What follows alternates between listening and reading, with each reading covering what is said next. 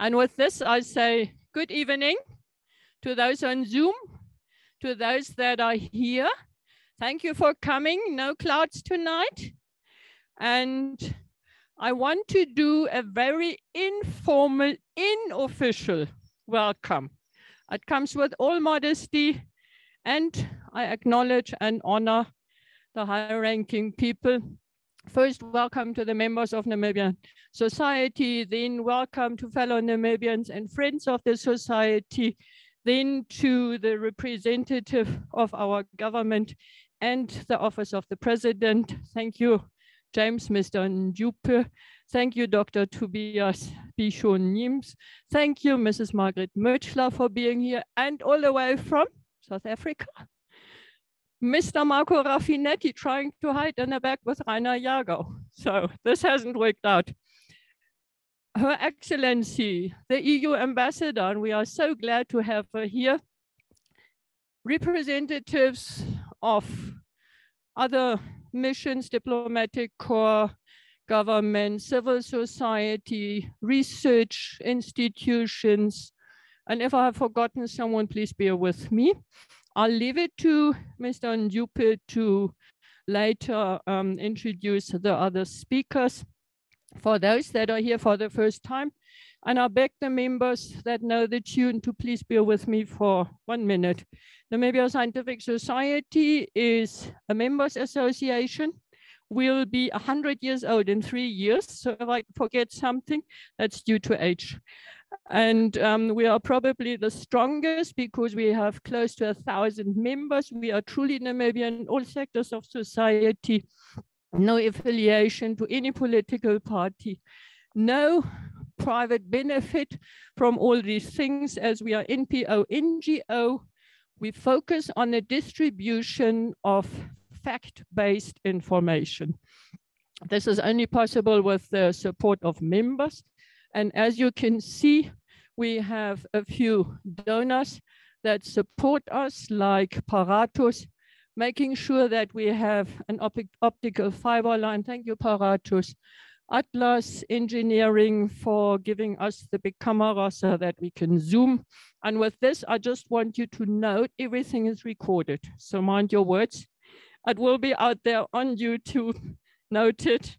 We also thank you for being ready to share your presentations because we just feel that this is information that everyone wants to know about. And then um, we have the Minds in Action team. There they are. Thank you for helping us. And the members that come and donate drinks, assist with whatever. Sharing information, focus on fact-based um, details has us trying to bring as much as possible. We have a slogan, Science for Society, and that is for us to understand what is actually happening.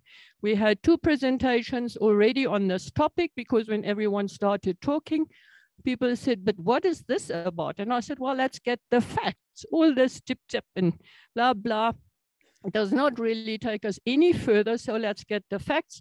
We started with Professor Anicia Peters and Dr. Natangwe. Where are they, by the way? Noch nicht da. Okay.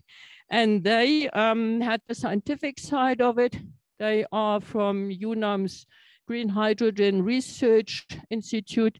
Then we had people that raised their opinion in the media. Amongst others, we had Dr. Detlof von Oertzen, we had um, Jackie Scholz for all the legal framework that goes with such a project or could maybe go with it. Then we had Robert McGregor from CIRRUS for bringing up the financial implications. And more and more the question was, can we not get the initiators, developers to please give us the details that are outstanding. So with this, we are so happy to have you, to have Mr. Mnyupe, Margaret for the Green Hydrogen Association of Namibia. I never knew we had such a thing, to be very honest, so thank you. And the rules for such a panel discussion, everyone may say what he wants to say, as long as it is polite, not insulting, and that one person speaks at a time. So with that, yes, let's first have the program. We start with James and he will say how we then go on and then it is Q&A. We will also give a chance to the people on Zoom and I now already know that you know, with all the rain, the walls are coming down, as you can see there. But to be hit by your own flyer or banner is a bit, but still.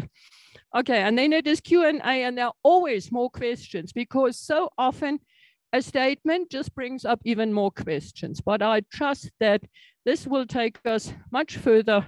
And so I say thank you and hand over to James. Thank you. Thank you um, so much for having us. The oh. Yeah, thanks a lot for having us. Uh, I was sitting here and listening to you talk, and you said you hadn't heard of uh, the Namibian Green Hydrogen Association before, and you're right. Like last year, this time it didn't exist. Um, last year, this time, none of these people thought of being in Namibia, um, and I suppose that's probably my job today. I'm going to leave it to the scientists to really break down what we've been trying to articulate for you before. But I suppose my job is to just shed a little bit of light of how we got here and why we got here.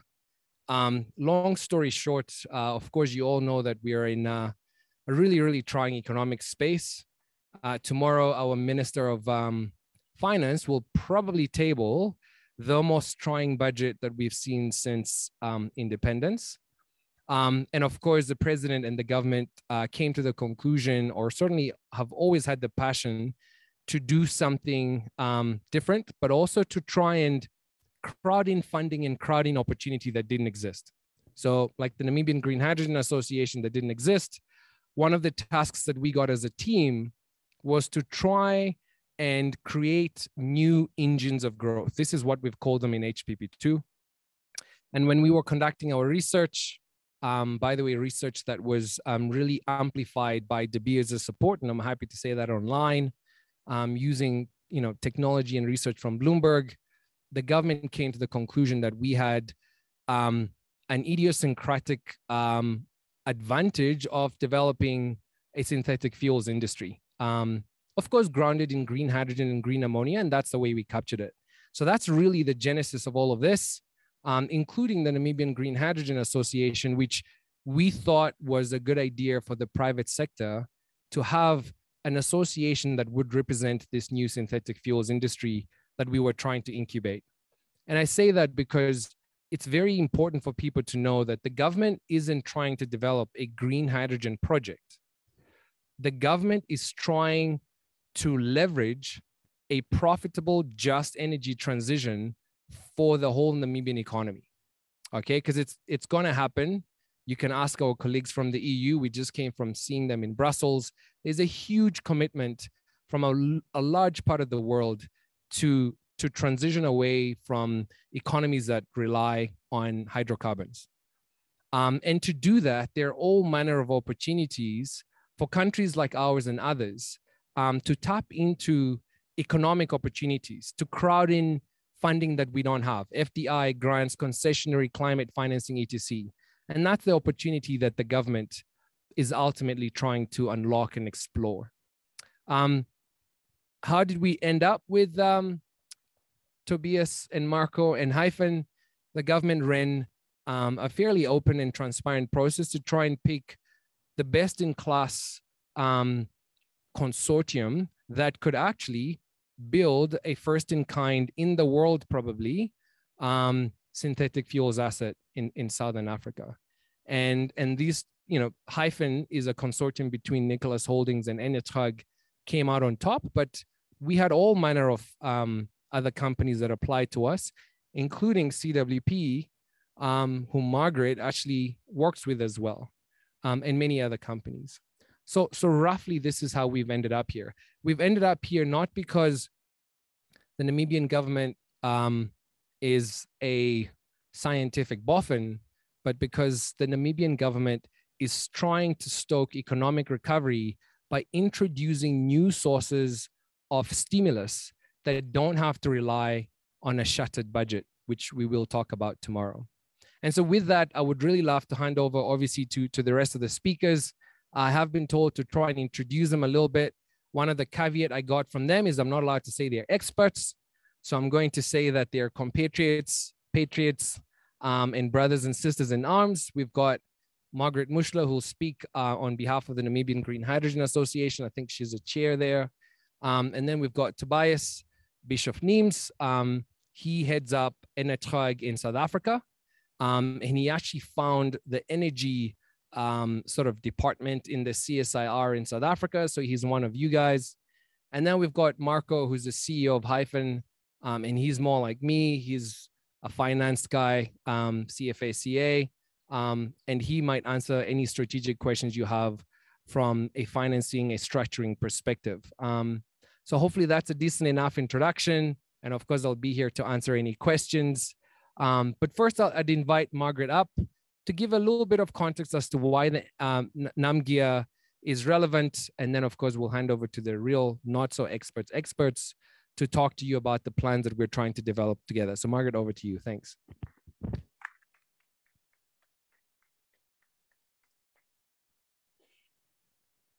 Experts are conferring.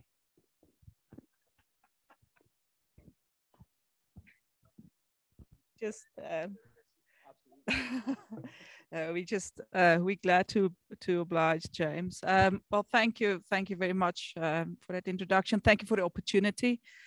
Um, we I really appreciate opportunities like this to talk to Namibians because it's so important for Namibia um, and, and average Namibians to get informed, um, to ask the questions, to have debate, um, and in the end get on with it. Um, so I would like to say um, part of the fact that we're actually standing here today, um, so far advanced, is because we managed to get to the point where we could roll up the sleeves and do it. And this is what we try to achieve. Yes, there are so many hurdles we need to cross. There are so many bridges we need to cross. There are so many um, aspects that needs to be addressed. There are so many risks that we are know that we know about that should be packaged, and some of them which we don't know, which we're going to package as we go along the along the route. But the most important component and and and and being here is testimony of people getting up and say, let's do it, let's get on with it. And there's one I've, um, I, I really praise government officials. Um, but if there's one person that has proven that one person can actually make a hell of a difference in Namibia, then James Mnyupe is part of that. Um, in we we started with the development of this project. We, I'm talking about CWP H1 Energy, which is part of the hats that I'm wearing, started with project development in this scale um, around 2019. The first time we met with James was his first day in office last the spring last year spring day, 1st of September. 1st of September, James was the first time that he really heard the words green hydrogen, I assume. And what has been achieved from then to now is testimony to constant drive and hard work. Very much congratulations, James. Okay, um, just maybe a little bit of background. I'm wearing tonight, I'm wearing a, a different hats. I'm wearing the hat of Namibia Green Hydrogen Association chair. I'm the inaugural chair. Um, nothing fancy about it. It's the person that's around to do the work. Um, then I'm also a director of Tumanene Hydrogen Energy, uh, which is representing the developer CWP H1 Energy, um, working on the project in Namibia. And we have the um, proud but sad uh, banner of being the runner-up to Hyphen Energy in the bid that was the first bid that was launched. Um, and we, but we're also fortunate uh, to do projects elsewhere and outside of Namibia. Obviously, coming back to Namibia, driving from Omaruru yesterday, I was thinking there is no other place, there is no better place than Namibia to do projects. So I'm mightily jealous about you guys. Yeah. Um, and then um, I'm also a partner to a small boutique consulting firm called Mutua Consulting Services. Before I'm going to tell you what about what is Namibia um, and how you can become a member of Namibia, if you so chooses as an organization, allow me just quickly to dip into my experience as a developer in Namibia um, and share some insights with you. I'm not going to bore you. You are going to get the slides. I'm not going to read verbatim from the slides. I'm just going to have an the script out of the heap discussion with you uh, before I tell you a little bit about Namibia. I will try to stick to the time in doing so. Can you do the next slide, please? Okay, so why why why why are people coming to Namibia? Um, wh why is CWP coming to Namibia, and why did Hyphen come to Namibia, for that matter? Um, and be looking beyond our re renewable resources, looking beyond the fact that we have excess renewable resources, that we will never be able to consume in Namibia the amount of resources that we have, um, and therefore gives us an excellent opportunity to export these resources. But they also come to Namibia because we're politically stable. We've got a, work, a working, well-defined regulatory and legislative regime. We've got a robust monetary system. We have good infrastructure. I promise you, if you go outside Namibia, you come back Namibia, you realize what good infrastructure is. You will stop complaining about the small potholes in Namibia, in Windhoek. And we have a skilled work resource. Um, Namibians are, partake, are participating not only in Namibia, but outside of Namibia in developing projects. So we really have a lot to offer as Namibians, even though we are a pretty small company, uh, country. Can you go next, please? I'm trying at you. Okay. So, so what is this about? And I'm sorry, I'm going to go over there. Is it okay with the camera if I move? Yes. yes. Okay. So what is this? I feel like a preacher when I stand behind the pulpit. What is this about? Um, it's about connecting the dots. Um, this project, my, my, you, you see the best side of me, yeah? Um, this, this is about connecting the dots. And there are a number of dots that we can connect in doing projects of this scale and of this nature, and specifically a project where we talk about green hydrogen-based development. Um, James mentioned the economy, um, diversification of the export basket. Bringing another cake to the table. Um, we have socioeconomic environmental opportunities. Yes, there are risks that we will need to mitigate. Yes, we will need to be very careful because we work in a very sensitive area. And yes, I would like to take my grandchildren one day, one, one day uh, in those parks as well. Um, I'm going to skip energy security now. I want to come back to this. We, we really have an opportunity to really sort out some of the water security issues we have in key areas where we have serious water shortages um, and to address food security, not only food for human consumption, but also for animal consumption. So there are so many opportunities that coming back to the energy security, these projects are massive um, in, in, in scale. And there's a reason why, why, why some of them are smaller and some of them are bigger. I'm talking about a bigger project. These projects are big in comparison to Namibia. Namibia's installed maximum, uh, Namibia's installed demand or its installed capacity is just about 600 megawatt. We all know this. Our maximum amount around just below 700, 640 megawatt. When you talk about a three gigawatt or a five gigawatt or a 10 gigawatt project, they, they are big just the excess energy after they optimize the, the, the uh, project, just the excess energy, which they might not consume, is about one and a half terawatt hours, which about 25% of our energy consumption in a, in a year currently. So you really get the opportunity to have access to energy, not only in electron format, but also in molecule format, which you can deploy and utilize in Namibia in new development or in value add, um, sorting out a grid, putting it into battery storage, um, utilize it for other energy intensive uh, uh, industry, bringing down the price of electricity um, so that you can actually get other industry going. Green, uh, providing an opportunity to prove the provenance for green development, green industry development, not only uh, run of the mill industry development. That is the upside of it. The downside of this, if we, if we don't, for instance, get to a point where we have green gold or green zinc, at some stage internationally, we're going to see carbon taxes against gray gold or black gold. You're going to see carbon taxes against gray zinc or black zinc, for that matter.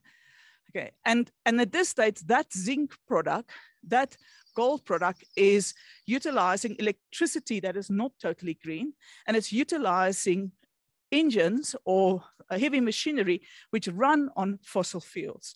So the downside of this is what's going to happen with our industry if we do not have an opportunity to green it up, to clean it up. Um, so it's about connecting the dots.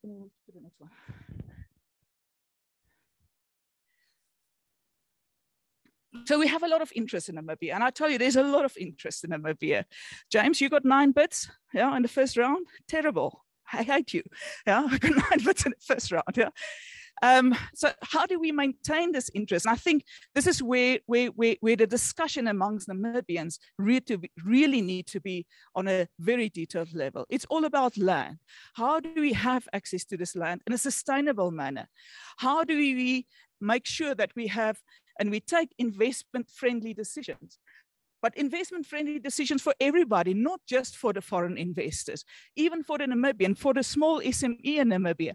How do we make it easier for our SMEs? How do we get our SMEs ready to participate in this? How do we, how are we flexible to accommodate these projects? Um, what do we need to do? How do we need to look at differently at life? Because I can tell you one thing is five years from now, life in Namibia will look different.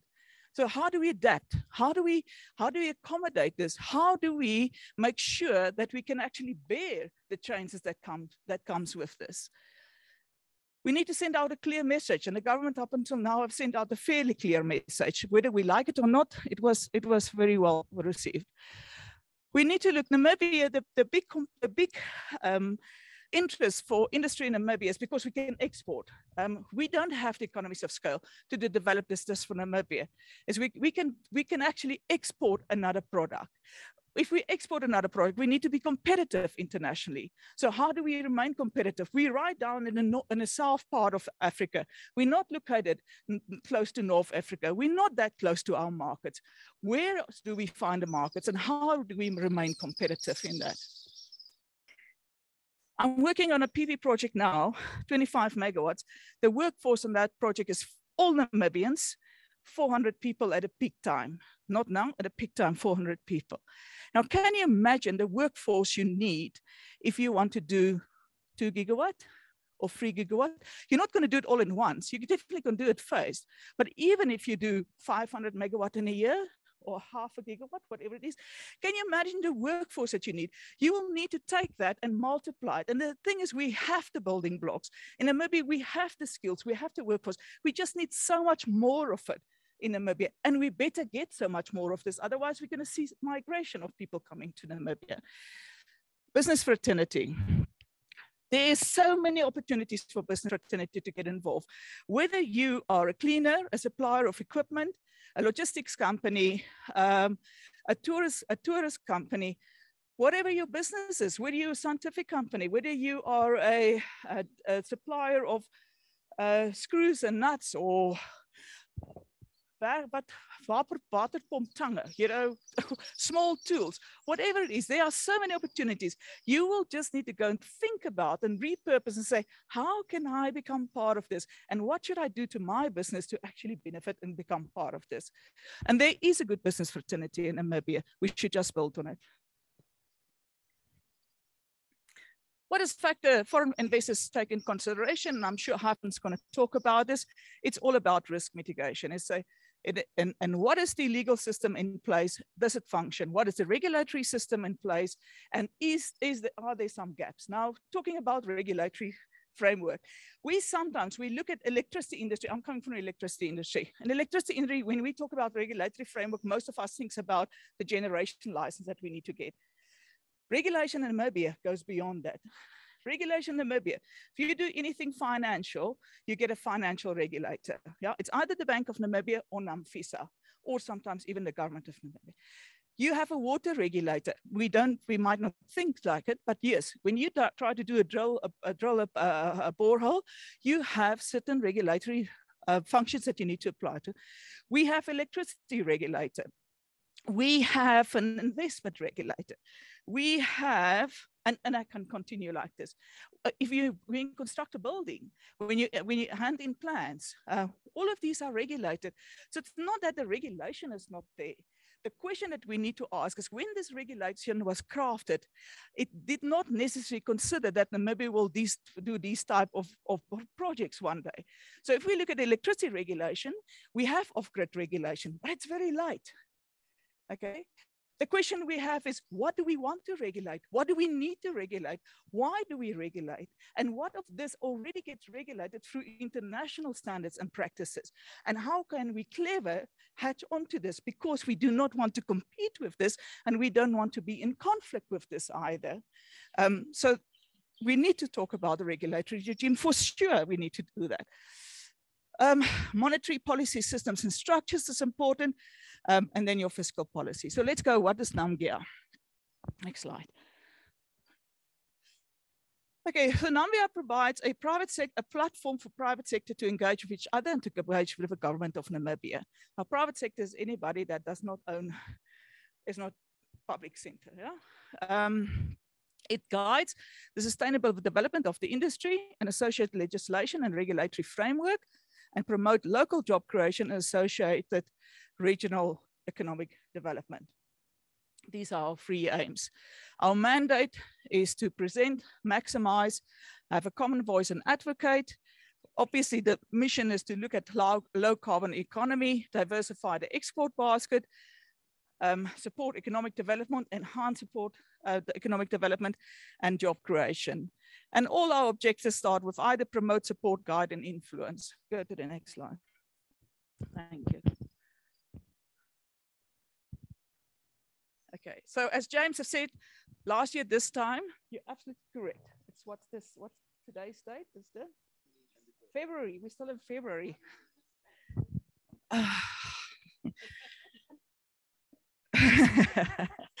you're getting seasick or what? uh, yeah. So last year, February, NamGHA didn't exist. We were talking about, we were talking about it. Uh, March 2021, the inaugural meeting took place we presented the draft constitution um, and said, okay, this is how we think we're going to do this. We had at that inaugural meeting was a combination of a, a virtual meeting and a, and a, physical meeting. And in the end, we had about 262 participants um, interested in, in doing this, which I thought was pretty okay uh, for a first inaugural meeting. Um, from there, we created, oh, and that same that same day, we had our first EXCO meeting, um, EXCO member selected EXCO meeting, and as I said, by, uh, by sheer fact that uh, I was around to do the work, um, I was selected inaugural chairperson. Um, from there, we worked quite a lot in trying to get the constitution right, the legal framework right, have a debate about this. Um, how do we set up uh, bank accounts, auditors, um, uh, drafting the type of person, getting the name reserved, um, so all of this took us up until end of last year, and we at, at, at finally has had a very breakthrough um, EXCO meeting where most of these have been approved and we could finalize this. And I think I got a last signature on the constitution about a week ago from Bernd Walbaum. Um, achter ons kom ook in die.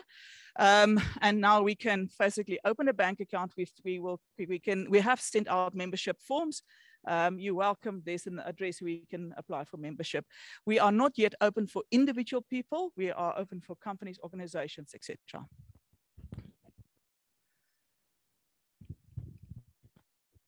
What are our objectives? Um, you can read it, you can, you can get a fine print, you can read it, or you can get a copy of the constitution. I'm not going to read this verbatim, but it's basically addressing policy legislation and regulation in the private as well as in the public sector in order to um, support, enhance um, the rollout and the deployment of green hydrogen-based um, economy.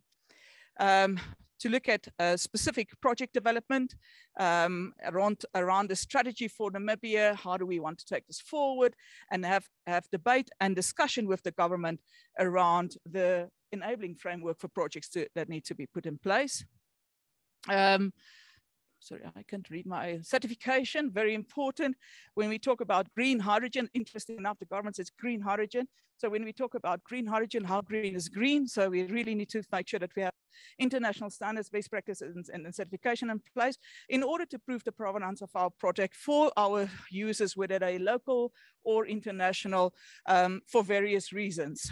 Um, we'd like to uh, make sure that through this process, we enhance the ability of Namibians and international, uh, international investors to participate in a digital econ economy um, based on the back of the uh, uh green hydrogen development. Um, and look for um, ways and promote ways how to find finding of, of, funding opportunities, not only for the big investors. In fact, the fund, the, they are pretty good in finding their own funding opportunities, but starting looking at the SMEs, the Namibian. So, so how do we bridge this gap between um, as a as a, a, business now, whether it's an SME or not an SME, and actually have to step up to that plate and actually step up that work um, and, and, and output um, to become and, uh, and participate in, in this economy. Uh, we, because we, we're looking at market and export channels. This is not only for Namibia, it's also export, but also look at opportunities to promote the deployment, the local deployment of hydrogen-based use cases, uh, products, uh, uh, channels, um, distribution outlets, etc. Um, disseminate information, support research, um, create debate um, around uh, the whole aspect of green hydrogen-based economy, um, provide a common voice to answer concerns about hydrogen energy. And yes, you need to raise your concerns and let's answer this. Let's try and answer this. If we don't have an answer, let's go and find it together. Let's go and seek them. Um, share non-commercial um, information that's not sensitive. Um, and yes, and promote research and uh, research and development in making all of this happen, whether it is a deployment into Namibia, like uh, ONL, Cleanergy, CMB and ONL is doing, whether it is export to South Africa, whether it's export to some port in, in, uh, in Europe. Um, we, we need a lot of research to make sure that we can make it work from here. Okay, you have different membership classes and they come with different prices. Um, so, uh, we have the EXCO membership. It's uh, EXCO is just a subset of the normal industry associated uh, consulting and financial institutions. And can I sum this up? The only exclusion that we have is individual persons. So if you're related to hydrogen or associated to hydrogen or think you're going to be associated or have an industry or have a company and you think you'd like to become a member, if you're SME, we give you a discount. If not, um, are the, there's the price tag for this year. It's cheap. And how do you become a member? You email me and I'll send you a membership form. Uh, we process the membership form, we put you on a, on a database, and the moment we have a bank account that's working, we send you an invoice. That is as easy as that. And I think that was me.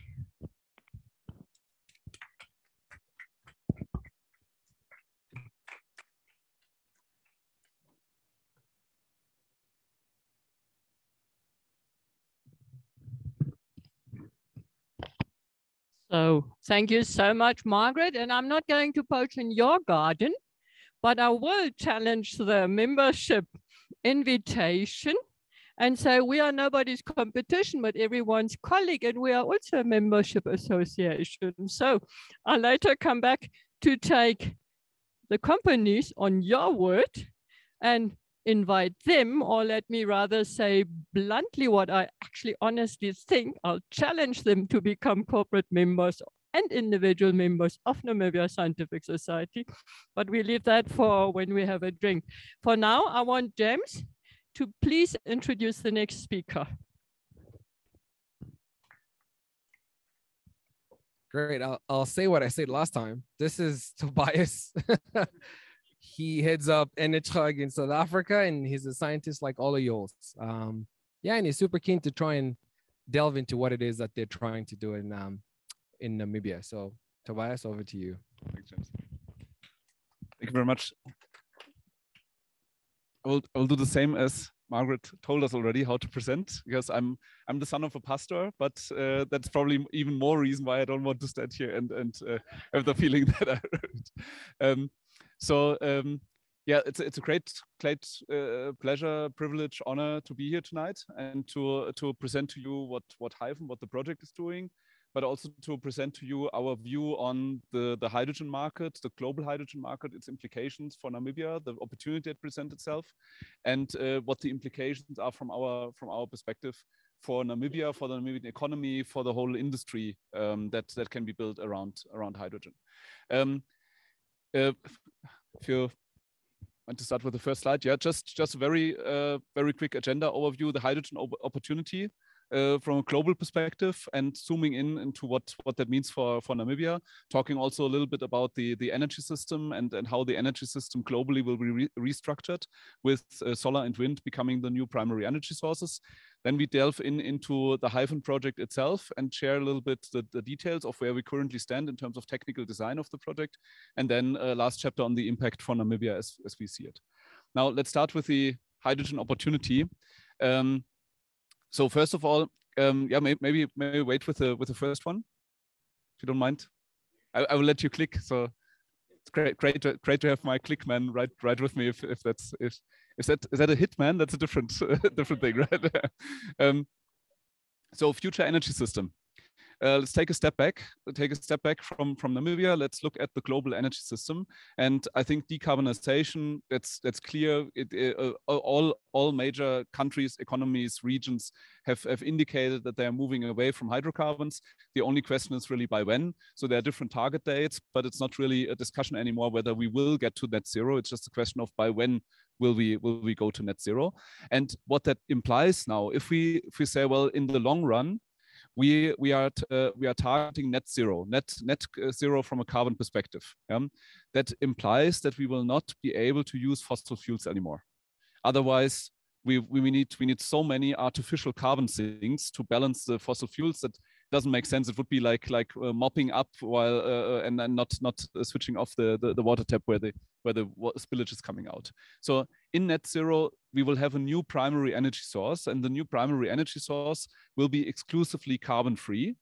And in the carbon free sources, of course, there are many, there are many more than the ones that we are indicating here. We are indicating solar, wind, and hydro of course, there's biomass, there's geothermal, there, um, there are uh, other, other renewable energy sources that are free of carbon. But why we focus on solar and wind? Well, for two reasons. The one is solar and wind harvesting, in principle, has no technical limitation. Not, not from a perspective of like, like our global energy demand is much smaller than what, uh, what nature gives us in form of uh, sun and wind resource. And it's deployable literally everywhere. Yeah? much better to deploy in Namibia for reasons that we will get into. But in principle, there's no limitation. You can build a wind turbine basically everywhere and you can put a solar panel everywhere. No technical limitation. That's very different to geothermal, biomass, hydro. Yeah, there are always some some restrictions, uh, uh topography or other restrictions. Um, and the second reason why solar and wind will be the bulk new primary energy source is cost. Yeah, solar and wind are both mass manufactured products. Well, not, not the sun and the wind, obviously, but the, the technology that we use to, to convert sun and wind into electricity, solar panels, wind turbines, highly mass manufactured, started 20, some 30 years ago.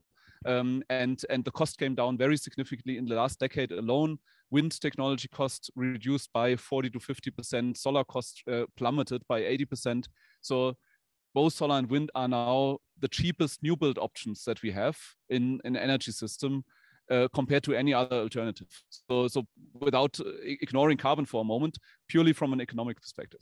These are the two reasons why those will be the bulk uh, um, uh, primary energy source. And now what that means now as an implication, um, solar, solar and wind, great, no technical limitation, the cheapest, but comes with a small caveat, it's variable. obviously, the production is only when the wind blows and when the sun shines. Um, what that implies is that that we need something to deal with the variability. We need to absorb the variability. Um, we, we cannot push all the electricity right into the electricity sector, but we need to kind of beneficiate it. So the, the raw electricity coming from sun and wind, you can see that as a, as a raw primary energy source. And now that primary energy source needs to be treated, just like coal that we take out of the ground. We need to treat it. You need to dry it, and then before you can burn it in a in a in a um, uh, in a coal-fired power station to produce electricity. Very similar. This primary energy source in itself it does, doesn't fulfill its purpose yet, but uh, we, we now have two in principle routes of what we can do with that. We either use it as electricity directly, um, or we, we feed it through electrolysis process, splitting water with the help of the primary energy source. And then we have an energy carrier, hydrogen, that, uh, that we can then use for supplying end use sectors. Now, if we move into the next one, um, what are the different energy carriers really that we make out of this primary energy source? Well, it's either the direct electricity use. We will get to that where, where we're going to uh, use that. And they are ranked in order of the individual path efficiency. Or we recycle the electricity um, in batteries. So we are still in the electricity sector. We still need electricity as the, as the uh, energy carrier. Or we go one step further and we take the hydrogen and use it as straight hydrogen as an, as an energy carrier. Or we go further and combine hydrogen with nitrogen to make ammonia. Um, or we go into the hydrocarbons world if we have a sustainable carbon source that is not of fossil origin, biomass or direct air capture from the air, um, then we can take the hydrogen and make either green methanol or green kerosene aviation fuel uh, as, a, as, a, as, a, as an energy carrier. Now this, this rank of energy carriers has applications now um, we go on the, on the next one. Um, if we now look at the different end use sectors where we will use them, um, um, the, the, the, direct electricity use we have predominantly in heating slash cooling. Yeah, so anything that's related with, with uh, space heating, space cooling. We have it in transport, battery electric vehicles. Um, that's where the battery comes in. Um, and uh, and of course we have all the normal electricity use that we that we have today lights motors pumps yeah everything that is that needs electricity right away.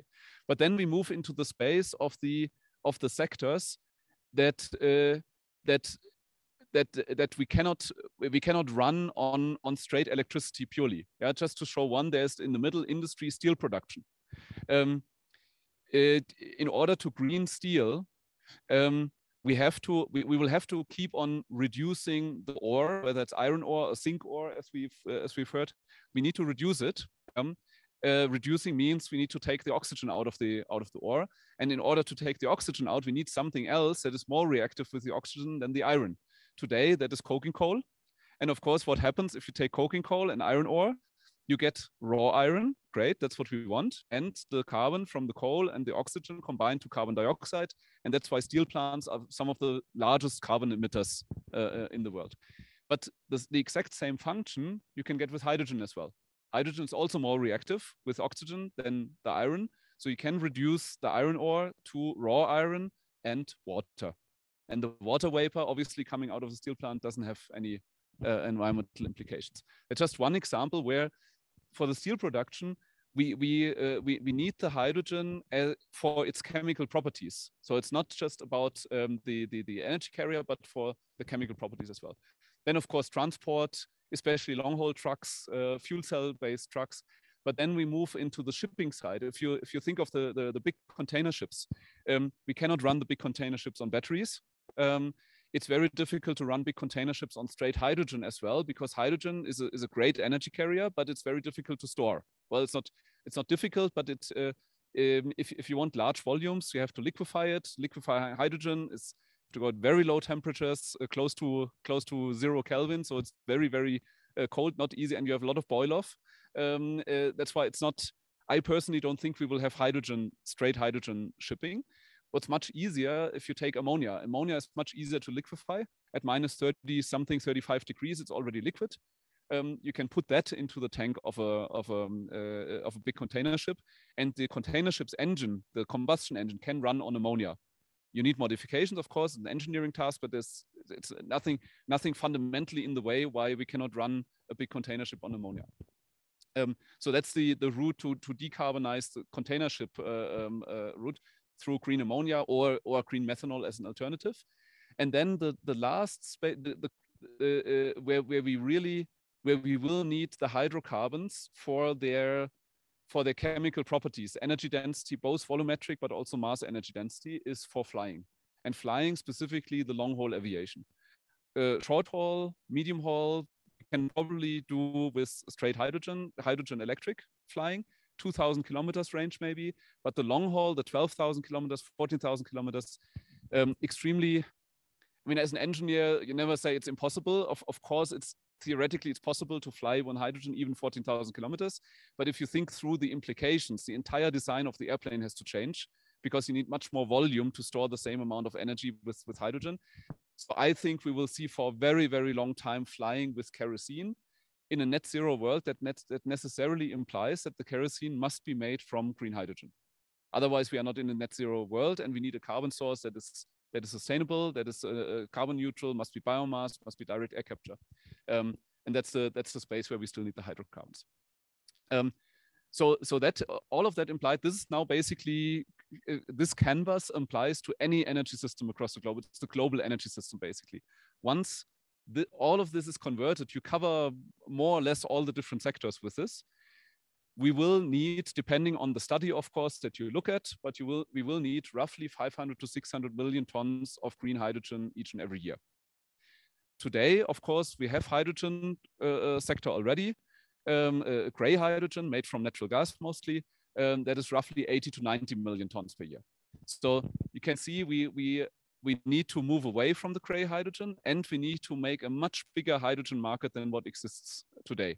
Um, um, now, if we move on the uh, on the next slide, um, these five to 600 million tons per year, now they, in, in principle, they can be produced, as I said, when I talked about wind and sun, technically they can be produced basically anywhere. Yeah, there's not a it, it's, it's difficult to imagine locations in the world where it's technically impossible to run a wind turbine, solar plant, and to make green hydrogen. But of course, there are economic differences between different regions. The map that you see here, not our map, it's from the International Energy Agency. They, they analyzed uh, in very high spatial resolution this, the, the solar and the wind resource across the globe and converted it into a long-term achievable production cost of hydrogen. Um, that's that's always uh, uh, important to note. The, the cost, the production cost that you see here for the hydrogen is not what we're going to be able to achieve today. We are in the ramp up phase of an industry that doesn't exist yet. But in the long run, those are the costs that we should be able to see. But what's more important than the absolute numbers is the relative between the different regions. So you clearly see world regions that have excellent wind and solar resources, where the production cost of the green hydrogen, because of this excellent resource, will be lower than in other parts of the world. And um, if you now combine that with what, what Margaret also said, is that uh, uh, some some regions have a combination of very strong resources while having relatively low own demand because of low population density or for other uh, for, for other well, it's, it's usually driven by, by population density. Um, uh, th those are naturally regions that are export orientated yeah where where the, the, where the green hydrogen and hydrogen derived products can be produced and can be exported. And then you have other areas that are naturally demand regions. Yeah, Europe, Japan is the most prominent example because there's no space. There's uh, and the space that exists is very hilly, so it's difficult to put uh, solar and wind uh, there. Um, but uh, of course, because of the large industrial base, very large um, uh, uh, demand. Um, and Namibia, not surprisingly, is one of the one of the prime locations globally speaking for for very low cost hydrogen production. Um, important to note this map obviously is based on the assumption that all the input cost factors that, that we have for hydrogen production, that they are all exactly the same. The only difference is the natural resource, namely wind and solar resource. Yeah. Uh, just just on a side note, of course, uh, what are the what are the other input cost factors? It's it's the the the uh, the cost of the of the of the capital that has to so the cost of the wind turbines, the solar, the electrolyzer, and so on. That is a fair assumption that this is a global commodity and that should cost the same everywhere wherever you build. Um, the cost of the operation that is also a global commodity, but then the cost of financing. Yeah? That is the, the, the third uh, cost input factor. And the assumption, the underlying assumption of this map is that the cost of financing is the same everywhere. Um, um, now, you know, in reality, there are differences in cost of financing between different world regions, and and um, and the, the the the resource advantage that regions have, like Namibia, um, can uh, I, I not say has to, but can be absorbed or eaten up by higher cost of financing um, uh, compared to, let's say, Middle East or, or uh, other regions. That's why, uh, in our opinion, apart from the technical development, the environmental development, uh, a very important additional aspect is the development of the hydrogen industry for Namibia on such a foundation that leads to the best financing conditions for hydrogen projects. Because if we don't achieve that, then then we might we might lose this this competitive advantage of having super good resources. Um, um, on the next slide, we will yeah see similar uh, similar to the to the map that we saw, but just giving it a, a different different structure in terms of natural import hubs and net, uh, natural export hubs. Uh, on the left, focus on, on on Europe as an as an import hub. So in the chart in the middle, you see two dimensions. One is the hydrogen demand that a certain region has for from a population density perspective, uh, multiplied with the industrial uh, base that exists. Um, and on the x-axis, you have the uh, supply potential for low-cost hydrogen. And supply potential means not just the the ability to produce low-cost hydrogen, but also the the the um, the ability to produce large quantities of it. So it's a combination of sun, wind, and available land resources. Um, uh, obviously, it doesn't help if you have the best wind resource in the world, but you only have let's say if you're Vatican City and you have the best wind resources, you will never become a super big uh, hydrogen exporter because you only have one square kilometer uh, at your at your disposal. Um, so in this in this logic, if we now look at the number of countries slash regions, you see Japan, not not surprising, pretty high demand for an individual country, a very high demand, very low potential for uh, low cost hydrogen production. So a natural importer of uh, of uh, energy in form of hydrogen. Then the EU similar, also, uh, of course, higher demand than Japan. So it's a whole block and not just a, a, country, but also more own production potential. So that's why it's a bit further to the right. Um, uh, China is somewhere in the middle. There's some, some very good potential to produce hydrogen themselves, but also very high demand, obviously. And then the US is an interesting one. The US basically has both. The US has resources that are not as good as Namibian resources, but close to it. Um, um, at the same time, the US has very high demand. Um, but but we we believe the US will probably be not a major player in a global hydrogen trading because they can basically produce their own demand themselves. So the US will be more of a domestic play in the green hydrogen space. And then on the far uh, on the lower right, you have the natural export hubs. Um, not surprised, the typical suspects, Chile, uh, Morocco, Saudi Arabia, but then of course in, in Australia, and then of course in Southern Africa, Namibia, South Africa. Yeah? South Africa with much, much larger population number, of course. That's why the demand is higher. Namibia, low population, 2.5 million. That's why the demand is low, but the potential is super high on the Namibian side. and that's why this, this whole uh, uh, this, this whole global trade dynamic that will evolve um, uh, puts Namibia into a, a, very comfortable position from being a, a, a, key exporter of the of the product into other uh, parts of the world that need to decarbonize and that they're willing uh, to pay a premium for green products. Um, um, now, how would that, if we zoom in on the right-hand side on the map, how would that work? What would be the natural export hubs? Well, we see basically we three we see three different directions of how the exported product could could leave Namibia. Uh, not not talking about the supply of green hydrogen and electricity into the Namibian energy sector itself uh, that that not only exists, but it's a, it's a great opportunity. But that's not the, the, the focus of this particular slide. But the three areas for export we see is either straight out of Namibia, that's the core at the core of the project that we are developing at the moment in form of green ammonia um, export facilities straight into uh, global markets that require uh, ammonia um, the second opportunity is um, to uh, to export further derived products. That's more a medium-term game, like uh, green steel, um, or um, there's there's nothing in the way of having uh, iron ore reduced in Namibia, where the resources are, and then have the raw iron, which is much more valuable than the iron ore. Have the raw iron, the reduced iron, have that exported to steel mills elsewhere that are then producing the end product and supply it into car manufacturing or whatever. And the third avenue is a regional play the export uh, exporting of uh, green hydrogen in straight form into South Africa.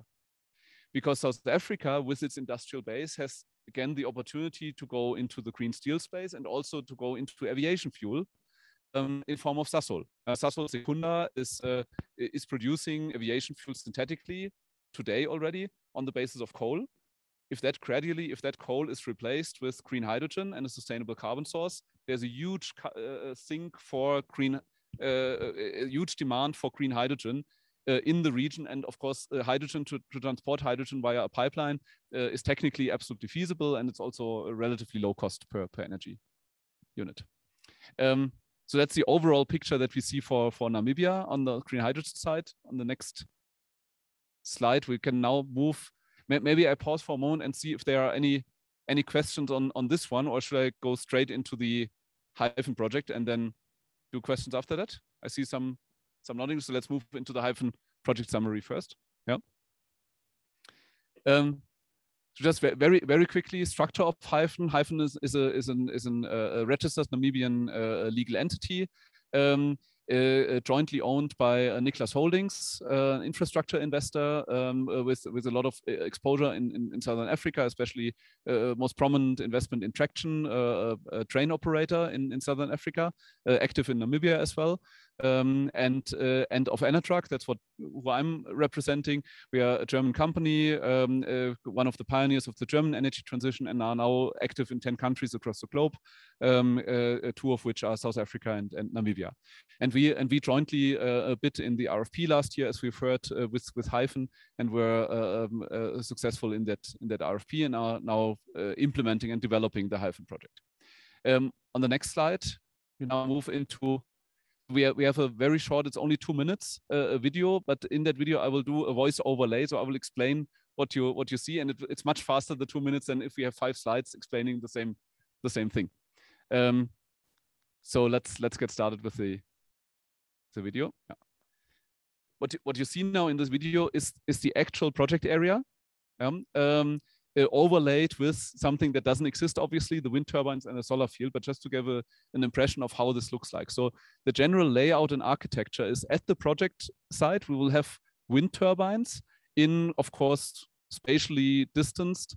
We have the solar farms, and then right in the center of this electricity uh, production area, we have in those warehouses, that's where we will have the electrolyzers. So that's the facilities that produce the hydrogen.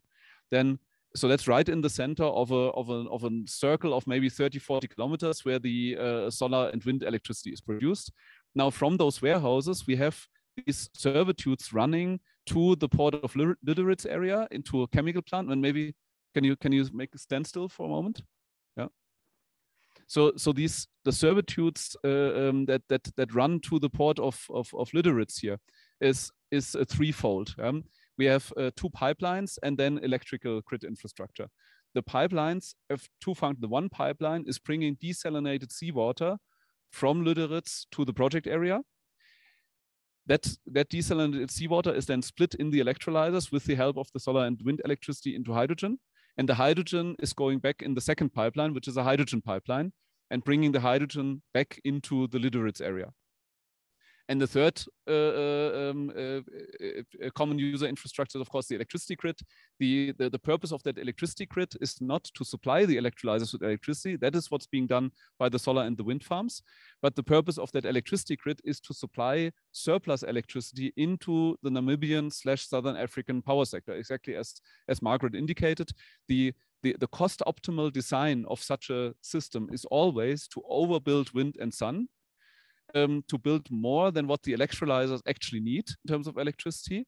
That is optimal irrespective of what you do with that electricity, with the surplus electricity, because you want to achieve a high utilization of the electrolyzers and of the whole chemical infrastructure. And for that, you need to overbuild.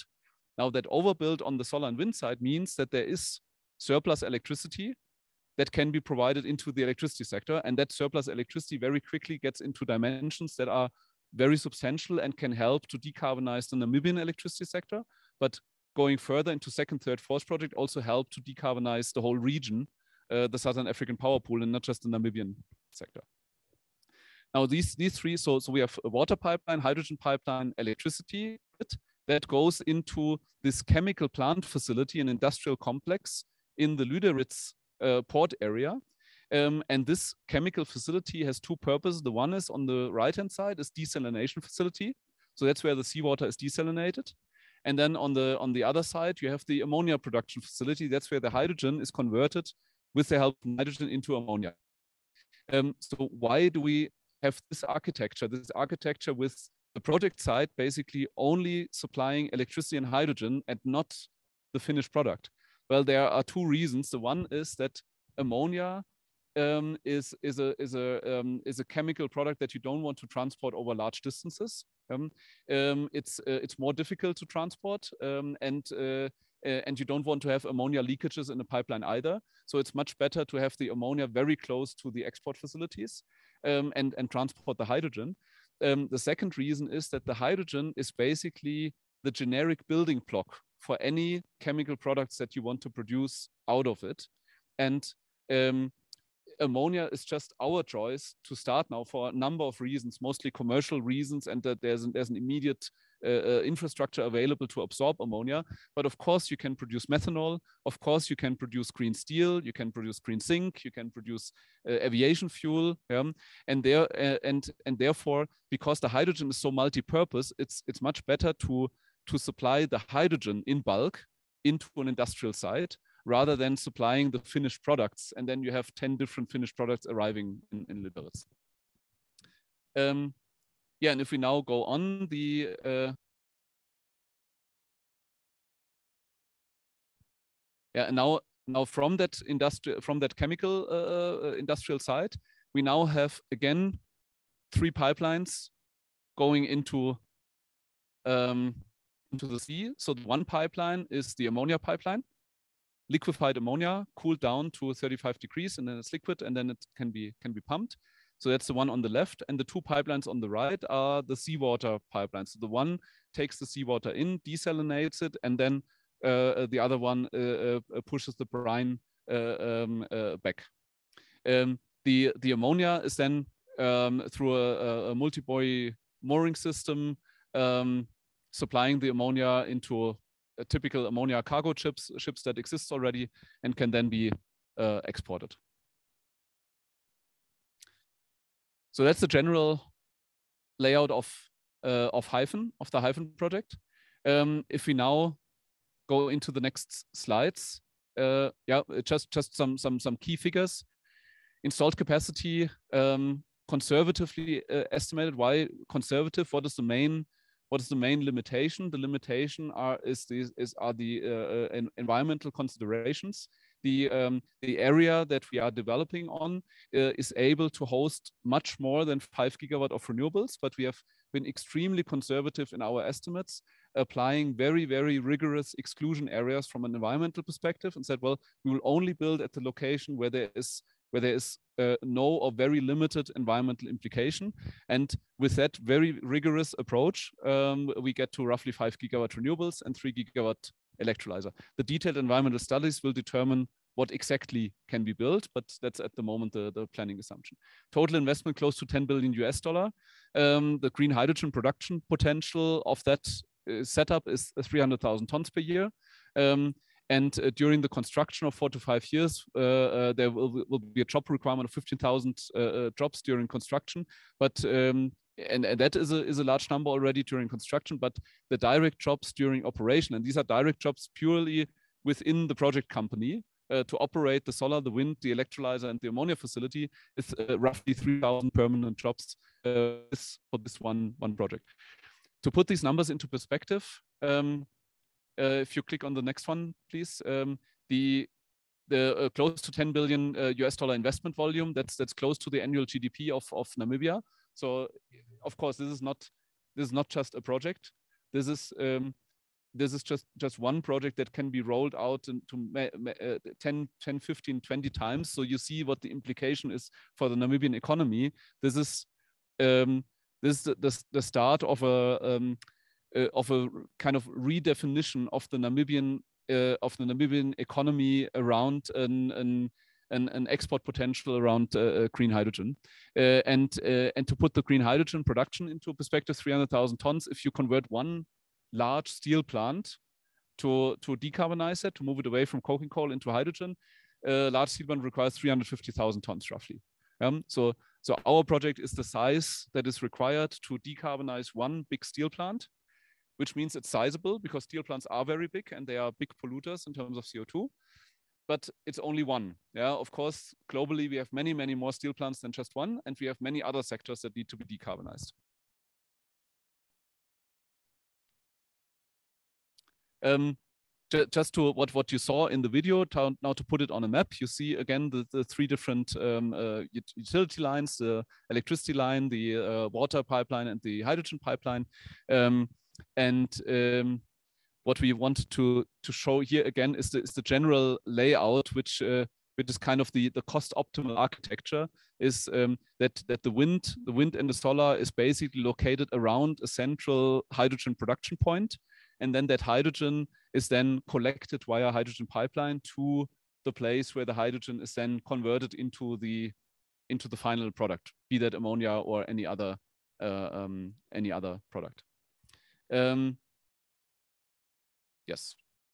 So on the next next slide, see um, if we look at uh, uh, uh, timelines, um, a proposed timeline that we are that we are um, putting all our efforts behind to uh, to work towards that timeline. Of course, it's a very ambitious one. So no no uh, no mistake. It's not a it's not an it's it's not an easy it's not an easy task. Yeah. Um, uh, um, but but it's it's it's an ambitious timeline, but but still um, a timeline that is doable um, uh, for uh, all pulling in the uh, in the same direction. And with that timeline, we would have commercial first co commercial operation of the first phase um, towards the end of 26. Um, the, the nice thing of, about renewables in general and green hydrogen in, in specific is that you that you can build uh, in in phases. You can build modular. It's not it's not like a big refinery that you have to build in one shot but you basically, once the common user infrastructure is in place, the pipeline is in place, the, the servitudes are in place for the electric grid, the, the, hydro, uh, the, the, the, water desalination is in place, then you can basically um, plug to that common user infrastructure the projects and, and ramp them up uh, gradually. The next slide. Yeah, the Im impact for Namibia just the co-benefits that we see that are related to the Hyphen project. On the energy side, we talked about that, the surplus electricity and of course hydrogen and ammonia for um, uh, for Namibian demand. Um, on the water side, uh, the, the project, the desalination plant of the of the project is over-dimensioned by design now already to to supply uh, the volumes of desalinated water that the town of Lüderitz uh, uh, requires. It's a roughly 20 to 25% over-dimensioning um, of the of the uh, water that is required by the project itself, and of course all the other infrastructures, roads, ports, rail uh, infrastructure, all co-benefits that come with the development of, of such a such a project. And now um, uh, putting this into into the context, how how we look at it, what what the Hyphen project basically is as a as a first building block for the rollout of a of a, um, a continuous role. It's like a generation a generational task, basically, the continuous rollout of hydrogen production facilities in Namibia. Um, if you if you look at the um, um, if you look at the the uh, uh, National Park, uh, the, the, the first two project sites that were allocated to Hyphen is this is this project area, and um, now if you look at the at the entire uh, um, uh, project site and and how how you could uh, well the, the, the entire available area let's let's say um, again very conservatively estimated with very strict environmental boundary conditions applied to it. You could probably build 10 times what hyphen is in in the park yeah. That means 3 million tons of green hydrogen production potential per year. So hyphen is basically the first out of 10 po potential uh, projects or potentially even more. Um, that's why we how, how we develop the project is very much from a perspective of laying the ground for subsequent rounds in in that in terms of the common user infrastructure that is required the hydrogen pipeline the water pipeline and the electric grid infrastructure um, so so that that in the in the long run in the end state you would have a hydrogen pipeline going through the park collecting the hydrogen from many different project sites that are basically plugging into the pipeline producing the, uh, the hydrogen at the specific project location. Um, uh, and then and then plugging into the pipeline so that the hydrogen can then be collected towards Lüderitz or towards the south. And in the long run, you would then have the yellow lines like dispatchable power towards Namibia and South Africa coming out of this entire region that will have many, many dozens of gigawatts of installed uh, capacity. And then the, the green one, the green hydrogen pipeline, um, uh, th that's the regional play. The green hydrogen pipeline uh, could then be extended into South Africa, going through the Northern Cape all the way to the east towards Secunda. And that's kind of the, the long-term 2050 view of how, of how this uh, structure could look like. Yeah, on the next slide start now the, the, the, summary. Yeah, so in summary, um, um, production potential beyond Hyphen project, 3 million tons per year, roughly uh, in, in, the, uh, in the national park uh, alone. The competitive advantage of Namibia is uh, has a unique combination of solar, wind, and land. So it's within, within one of the top five locations uh, globally. Um, uh, the uh, uh, what what oil and gas meant to commerce and, and related economic growth for fossil producers in the 20th century. we believe that is that that's that's what green hydrogen means to Namibia in the 21st century. Um, and Namibia can achieve a triad of economy, ecology, and social coherence. Uh, economy, the exporting of green hydrogen can transform the country into an industrial nation with value creation along the entire value chain.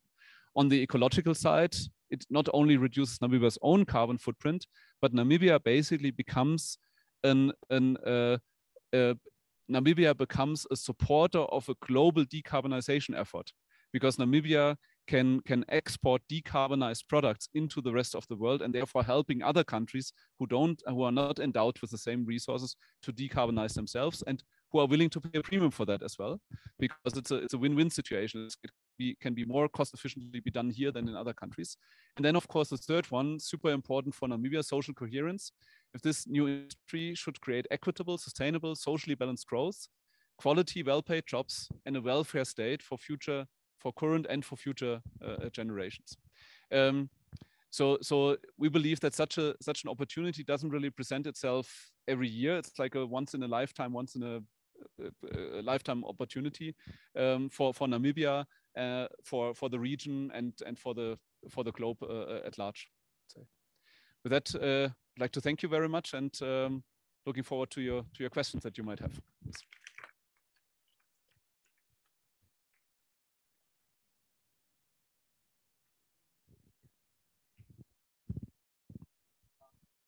And now I, I took way too long. Now I can't see you anymore.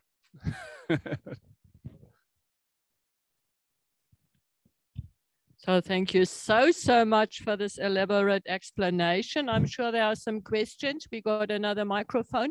We are waiting um, for the spotlights to switch on. We are still on the old fashioned energy and it takes some time until the spotlights come on. We are not as fast as your, your projects are. Question number one, where okay. do we start? Conrad Rödern, would you please say who you are? And then Ruth will just say, do we have the question on Zoom or do we have to repeat it here? Conrad, microphone? Okay. I've got the mic, so can I start? Yes, mic there's a mic on the I've just got one question. What can Namibia do to keep the finance costs down to stay competitive? Yeah, that's a, It's an excellent question because uh, because the cost of financing is apart from the resource the most important cost driver. Um, so there, uh, uh there, there are on the, on the cost of financing there are two aspects. The one is offtake. Yeah? Uh, that's there is not that much that Namibia can do, and it's also um, the same situation for everybody, for every supplier country across the globe. Offtake needs to be somehow secured. Someone has to make the first step and say, we are off taking on 10 years, guaranteed volumes, guaranteed price. Otherwise, you cannot build infrastructure. Um, but that's, I would say, everybody is in the same in the same game there. Now, Namibia specifically um, uh, is certainty around regulatory environment, certainty around um, the, the, the, the, legal regime, the tax regime. Um, uh, so everything that drives the business case of investments like this. um, must be as certain as possible. And I'm not I'm not saying that as as hyphen as as as us as the project company. I'm saying that on behalf of the finance community that in the end will supply the bulk of that of the of the funding. You can imagine that I mean we we are uh, we are raising money for uh, uh substantially large scale projects, but 10 billion is a ticket that is that is huge, yeah, and that's not that's huge for any individual company. So the bulk of that 10 billion will be raised through debt financing from commercial banks. And commercial banks will only give money into such infrastructure investments if they have, when, when they come in and they look at, they turn around every single stone and they want to have absolute certainty uh, and visibility about the next 20 years of operation of that asset. So that's certainty is the most important thing. And that will bring the cost of financing down. Our, our objective basically is that we want to we want to implement slash develop a project here that gets similar financing terms to other pro similar projects elsewhere in the world. If we achieve that, then we are left with that resource advantage, and then everybody is happy. Oh, sorry. Seeing as it's a team effort, I think the other thing that we are doing um, is engaging in what people are calling hydrogen diplomacy. So, for example, last week, you know, we actually traveled to Brussels. We met the EU, uh, and the EU, for example, has a program that they're trying to put together called the Global Gateway Facility. Um, and that is essentially they're trying to avail about 150 billion euros to emerging market co- co- countries, but essentially Africa, to use some of that funding to begin to decarbonize their systems. It's also there for other things like infrastructure and IT, but that's an opportunity, for example, for Namibia to tap into um, uh, potentially very concessionary funding, and you might be able to use that to fund some of the common user infrastructure that that Tobias was talking about. Um, engaging, you know, the BMBF. The BMBF will be here on Friday. They gave maybe a 40 million euros in grant funding. Some of that grant funding will be going into pilot plants, which of course can be used to prove the Namibian resource, that Namibian infrastructure works. That provides the certainty that the developers want. Um, the the funders then have um, a good reason to then provide you with capital um, at a lower cost of capital. So the answer isn't this project? The answer is a Namibian government working with private sector investors from around the world and other governments uh, and institutions and multilateral funding institutions from around the world to try and reduce the risk and to try and reduce the cost of decarbonizing not just Namibia, not just Southern Africa, um, but the planet um, uh, as well. Of course, what you guys say and do as well makes a big difference, right? If you're all very unhappy uh, people wouldn't really want to build green hydrogen assets in a country where people are very unhappy. So it really is a team effort all the way from the developer to the government uh, to the communities and, and to the continent as well.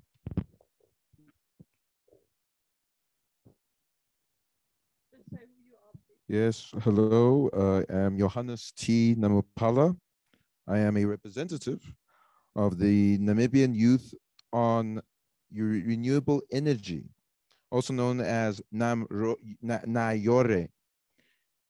I have two questions, uh, uh, one for government under James Mnyupe, and the under uh, and the other one for NamGHA uh, for Margaret.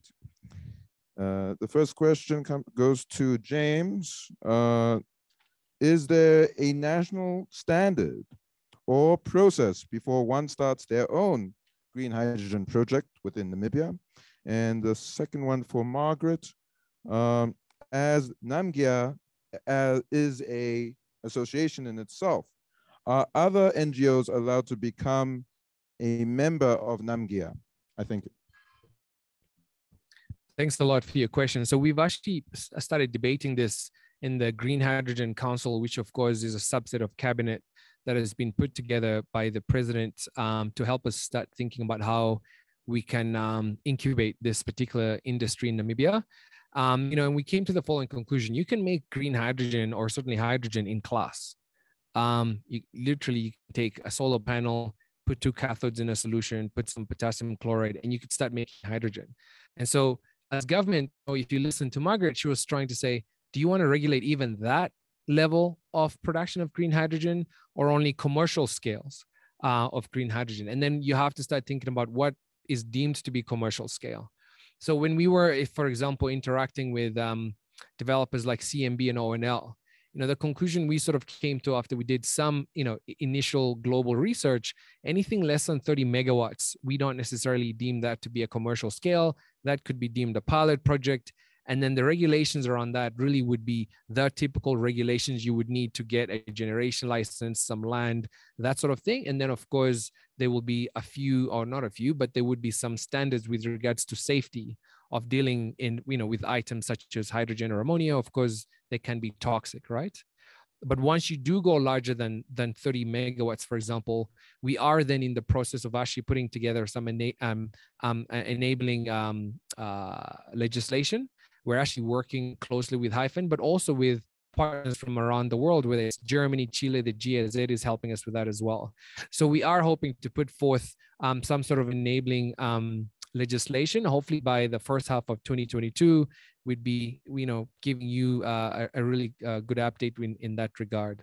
So I suppose watch this space, but as well, when we are going to put, you know, we're putting together a draft bill, we will obviously circulate it um, to the public for comments and so obviously I'd really love to get your comments and, and from all of you from the scientific society as well. Thanks for the question. I think it's a relevant question. And on top of that, you need to start thinking about things like certification and standards, definitions, what is hydrogen, green hydrogen, etc. So start doing your research. We will come to you for comments. Thanks been a lecture, so my voice carries. Uh, the short answer is yes, absolutely. And not only that, um, in our membership structure, the executive committee will consider the membership fees for associations on a case by case basis. Um, a big part of our success is how well we can network to spread the information and to get in, and, and to get uh, debate and dialogue going. So absolutely, you're more than welcome. Just something on this I believe in a light regulation. So, so you're taking your example of classroom hydrogen. Yeah, there's actually a labor law in Namibia that has a hazardous substance uh, legis- uh, regulation in it. So it is not as if we need to reinvent the wheel.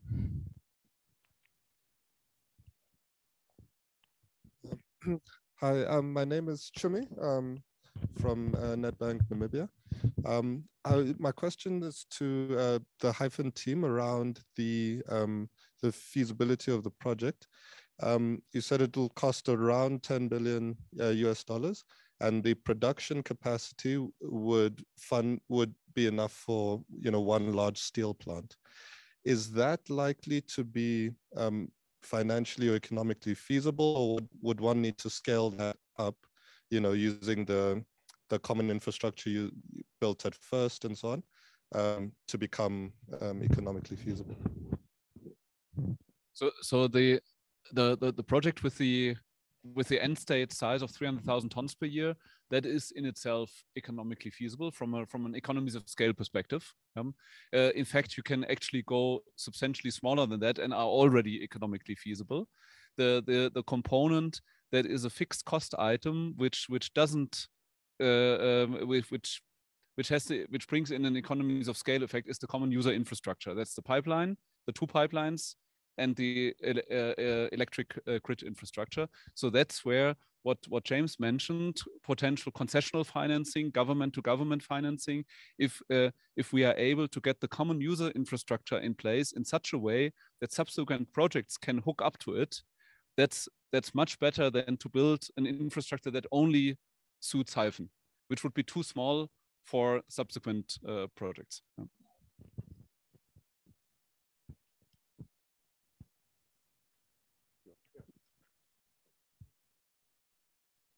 Yeah, maybe it's, oh, you, already, okay, thank you. Yes, thank you very much. Uh, I've got uh, one question. Oh, yes, uh, who I am. Uh, my name is Ted Schnebel. I'm civil engineer and I'm Namibian. Uh, you mentioned the national park, uh, of which we Namibians are very proud. And how many square kilometers would you need to produce three kilowatt, a gigawatt in about a month? And the next question, short question is, I always hear the word green hydrogen. Is it also something like pink or red or blue? Thank you. Okay, th thank you very much for, for those questions. It's actually, uh, yeah, it's, it's, it's, a, it's a very interesting one, the, the second one. So on the first one, the footprint, um, the the total now I stand corrected, but Marco is, is watching what I, what I'm saying, so you you you help me with the numbers. Uh, the the total the total uh, uh, um, uh, land area that that we are developing on at the moment is uh, roughly 4,000 square kilometers. The total park has a size of 26 26,000 square kilometers. Yeah? Of that 4,000 square kilometers, the actual like the, the physically disturbed area based on the five gigawatt and three gigawatt assumption that we are planning towards at the moment is single digit percentages. Um, if you uh, if you take uh, so if you uh, uh if you look at disturbed area uh, in terms of roads, the the turbine foundations, um, and then the footprint of this of the solar plants, then we are looking at I don't have the exact number handy, but it's two to three percent of the total of the assigned land that is actually disturbed disturbed area. Um, to your question in terms of the color coding, um, of course, chemically it's all H2. Yeah, so there is no difference.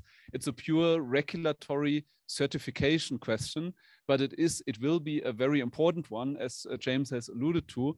There there will be um, uh, there will be off-takers, countries, regions, individual companies who are willing to pay a premium if the hydrogen that they buy, which of course is always the same chemical, um, uh, if it is produced according to certain principles.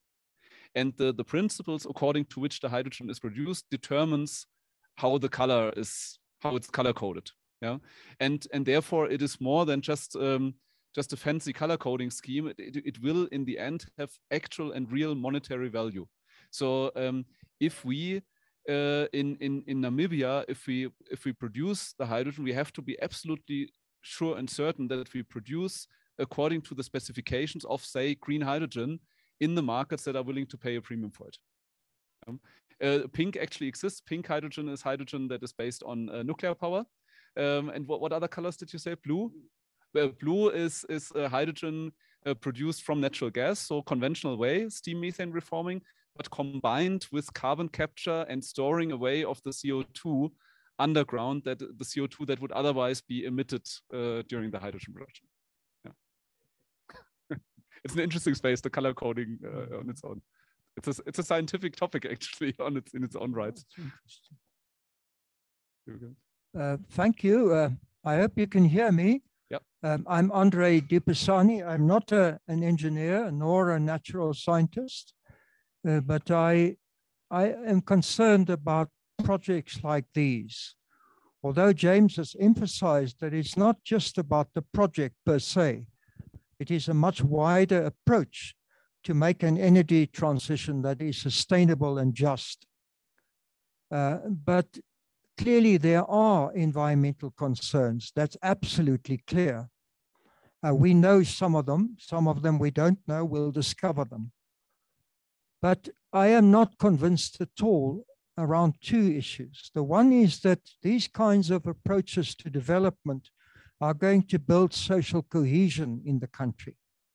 Social cohesion is not dependent on these types of approaches to, to development. They are dependent on human development, on food security, on access to primary health care, uh, on the respect for the dignity of citizens all the indicators that I've looked at, and I've looked at many, which would tell us that the social cohesion in Namibia is busy fragmenting and collapsing. I am not even convinced that we'll have four years before the society might actually fall apart along lines which are very difficult to, to, to bring together, to integrate the society. The nation building project itself is in crisis for reasons that have got nothing to do with you or your or the project or green hydrogen or whatever. Those are the issues that we first and foremost need to address before we come with grand mega projects, legacy projects that are linked intimately to the personalities and the lifestyles of individual politicians. Forget about those. Mm. So that's the first concern. Social cohesion is something entirely different. And we don't have the raw material to use that terminology, to build social cohesion. In fact, you can look at every indicator you want, whether it's a governance indicator, whether it's a social inclu inclusivity indicator, whether it's a, a, poverty indicator, Namibia is actually declining in terms of its cohesiveness. So those are the issues that need to be addressed before we start thinking and tinkering with these major projects, important as they undoubtedly are. I don't question their importance. The other issue is the brain drain. Margaret spoke so brilliantly. I wish you can meet my students at the university. Speak so brilliantly about that we have all the human capacities and the skills, and certainly we have a lot of them. But the reality is that most of our advanced students migrate elsewhere. They leave the country. They don't stay in Namibia. And that has got nothing to do with race or class or ethnicity, but simply because their argument is that this is a society where hope has died. It's a society where hope has died for the youth. These projects are not about me. I'm 75. They're not about me or many of us. They are about the young people, the next generation coming after us, those yet unborn. But our young people, I've been working in higher education in many countries for more than 40 years. Our high advanced students in different disciplines don't come back and stay. They come back, they meet a bonding requirement, they leave. They migrate like elsewhere in the world to greener pastures. So those are issues that I think we need to be Mm. honest about and bold about. I'm not blaming you. I'm not saying you shouldn't be here, you shouldn't invest, you shouldn't do the things that are also important. But those social contexts, those human issues are not being considered. We're looking at numbers which are bewildering. Mm. And that's not the way I believe that we're going to build a cohesive society and a just society for that matter. Sorry, as, as an Namibia, let me take this. It's really extremely um, good point you made, Professor du Pisani, if I may call you Professor, yes. Um, and I think that is part why developers start with the socioeconomic um, impact assessment first. And, and this is what we have done, certainly that we do it perfectly? I don't think so. You're absolutely right. I think we really touch when we in the screening we touch it.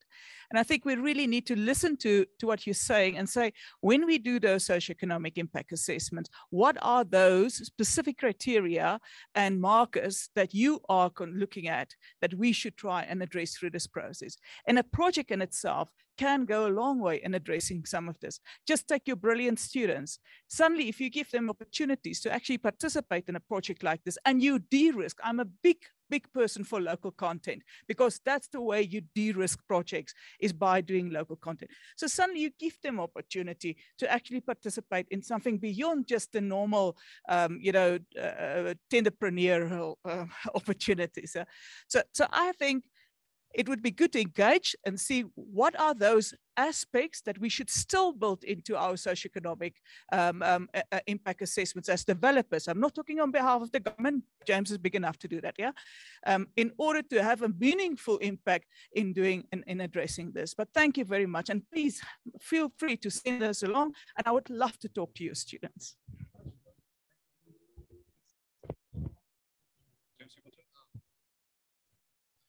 Yeah, good evening. My name is Nico Brückner from Namibia Engineering Corporation.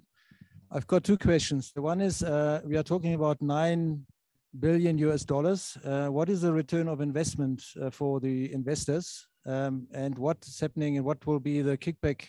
Not the kickback, that's the wrong word. The um, sorry, take that off the record, please. Uh, what what is the benefit for Namibian in the long term? And a plant like this uh, obviously has got uh, a limited lifetime and that return of investment is linked to a certain time frame of 20 years 50 years whatever what happens if certain components are done and you need to physically replace and to change what is what is the lifetime of, of such a plant in that in that magnitude thank you So on the on the return on investment, I will say something um, that will probably surprise you. Um, we will have achieved a great project if the required return on investment is as low as possible. Um, that is directly linked to what we discussed earlier, the cost of financing, because the cost of financing is a blend of cost of debt financing and cost of equity financing. The lower the return requirement is for whoever the ultimate investor is together with us, institutional investor, pension funds, whatever, if we if we manage to get global pension funds to invest their money in Namibia at low, but de decent but low infrastructure type of returns, then we have done an excellent job, not as developers, but as a as partners together with the Namibian government. So that's maybe maybe not the answer that you expected, but that's exactly what we are working towards. Because if we don't achieve that, if we don't achieve to put a project like this into the asset class of infrastructure investment, then we are afraid then we will not have a project and we will definitely not have multiple projects in Namibia because the cost of financing will simply uh, out outcompete um, the Namibian investments. In terms of the, the replacement cycle, yes, you're absolutely right. The assets that are being put there, they have a limited lifetime, like any engineered product that you deploy anywhere. You know?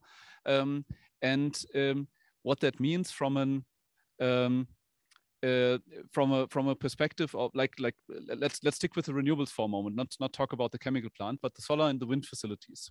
Uh, roughly speaking, 25 years 30 years i mean 30 years depending on what wind turbine you deploy you, you can you can work with that assumption.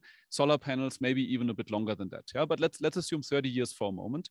Um, so after 30 years you will have to repower um, and what that means is that we will we will have a ramp up phase. Let's say if it takes 30 years to reach the the the, the steady state deployment of solar and wind facilities in Namibia. Once we reach that stage, we will have a continuous ongoing construction ac activity that becomes a steady state construction activity. Because the first projects from year one are then the ones that are being repowered in year 31. So that means we'll, ha we'll have, if, if that everything, if everything is, is steady and continuous, then you have two sources of economic activity, of, of, uh, of job creation, of value creation that is in the operation of the assets, and that's in the continuous and permanent and in perpetuity construction activity that is that that moves into a repowering logic after 30 years. And you had, you had one more question, if I remember. It was okay. My name is Konrad Röder, and I'm in expertise for regenerative energy and uh, electric mobility. You, thanks for the very good presentation, Dr. Tobias, but um, there was a very ambitious ramp up to 2026.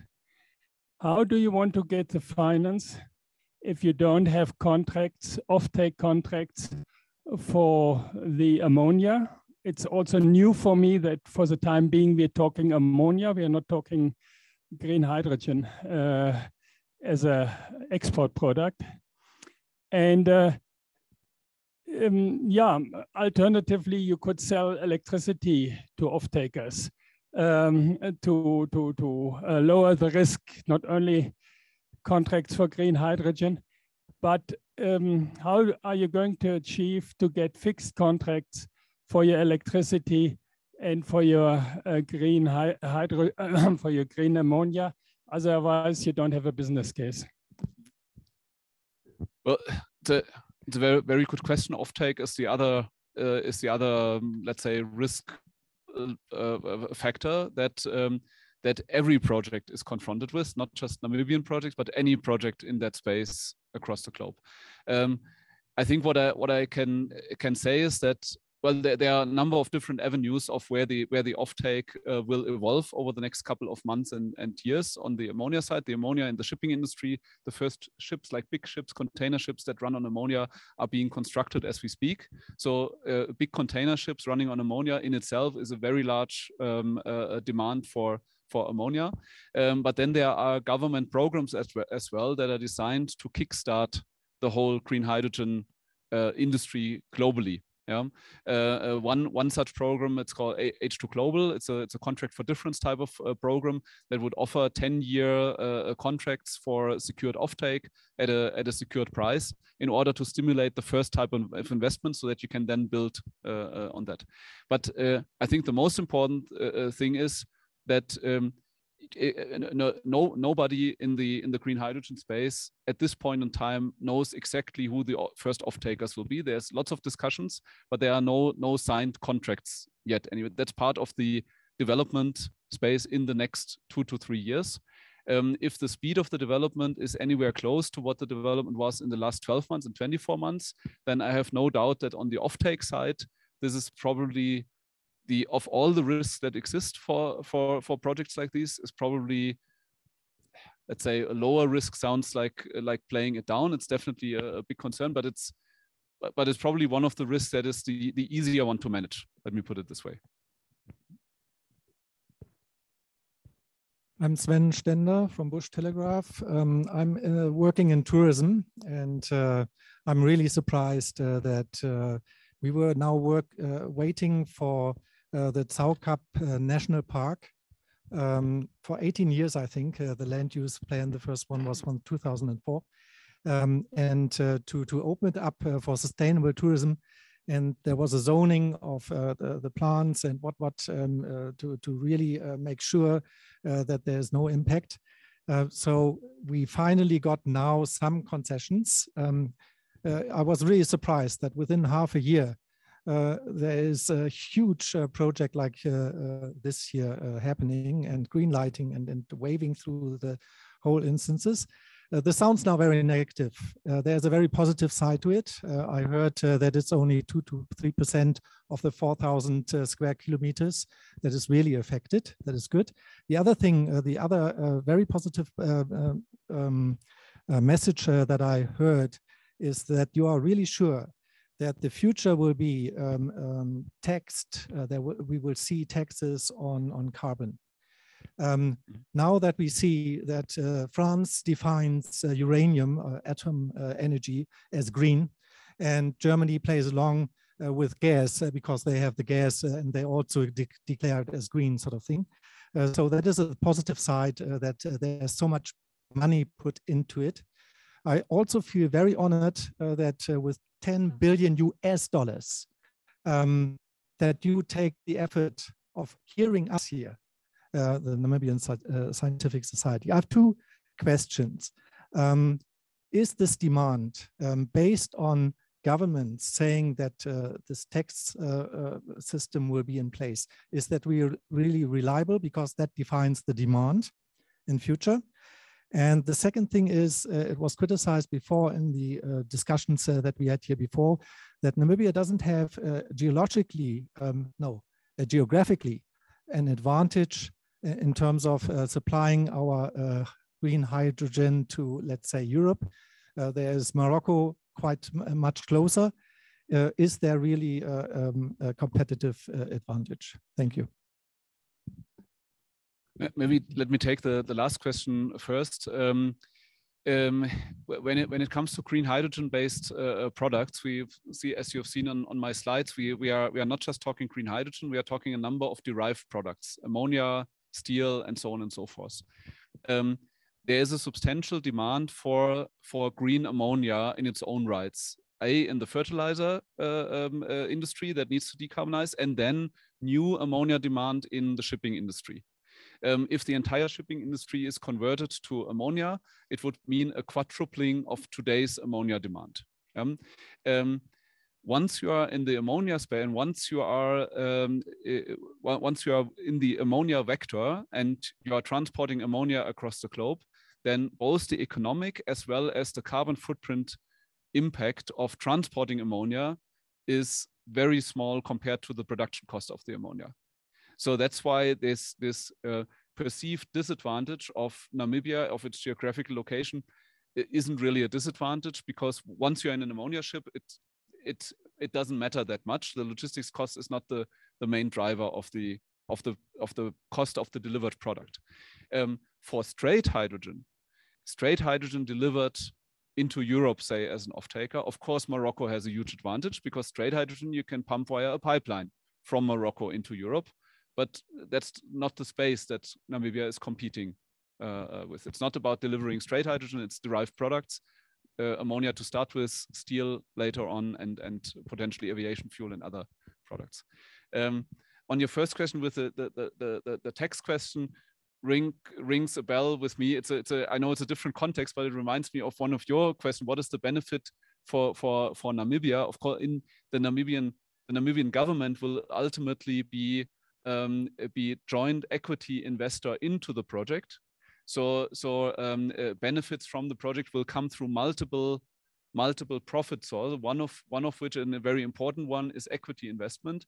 And if the Namib now I can't speak on behalf of the Namibian government, but if the Namibian government gets the, the, the, the, financing for that equity portion through concessional financing to government to government uh, uh, um, financing, then it's it's really uh, it would be a great great position to be in, let's say, as Namibia. But your question was around the offtake and the offtake that is being created through regulatory intervention and through greening of the of the and how sustainable that is well uh, we, we believe i mean that's that's a that's a reason why not just us but many other countries cwp and many many com uh, com uh, uh, companies across the globe are are investing a lot in building the capacities and the capabilities to supply the world with green hydrogen because uh, i think we are beyond the point of return where where some some individual country could could could turn direction and say now we don't want to be carbon neutral anymore. I think we are beyond that point. The only question is how quickly will this evolve? Um, and then uh, so in the first let's say in the next 10 years there will still be a premium payable for green products and that premium must be paid by um, uh, by by off takers that are exposed to regulatory regimes like you mentioned like in europe or in the us or in japan where they are forced to buy the green and pay more for it. Um, so yes there is a government intervention that that creates that market but we strongly believe that with the cost decline that we've seen on solar and wind the same we, we will see happening on the electrolyzer side. So we will be very very quickly probably in the next 10 years in a situation where green ammonia is not more expensive than gray ammonia anymore the same as electricity. You know, on the electricity side, we are we are we are not in a space anymore where wind and solar is more expensive than coal-based power. It's actually cheaper. Yeah, so it's it, it doesn't cost money to decarbonize the electricity sector.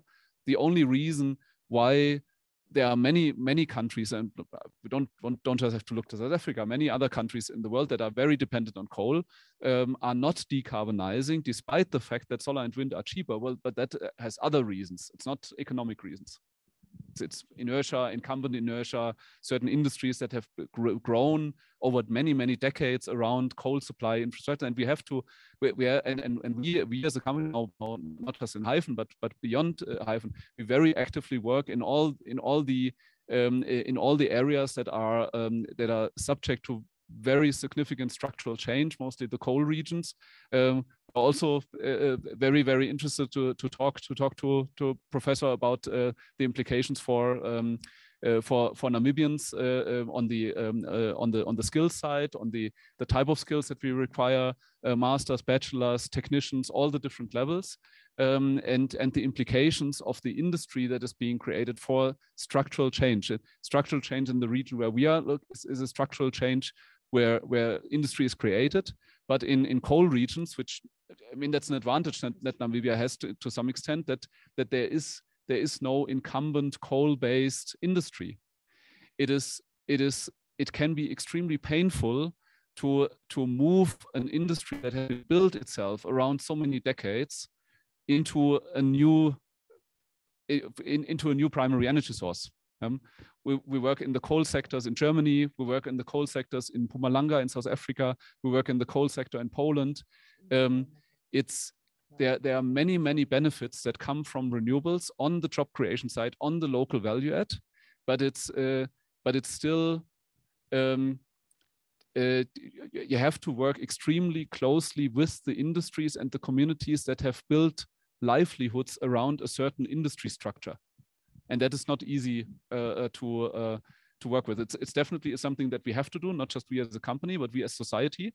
Um, strongly believe that there's there will be no transition if if there or there, there's only a transition if we manage to achieve no losers during the transition. That's super important, otherwise there will be no transition.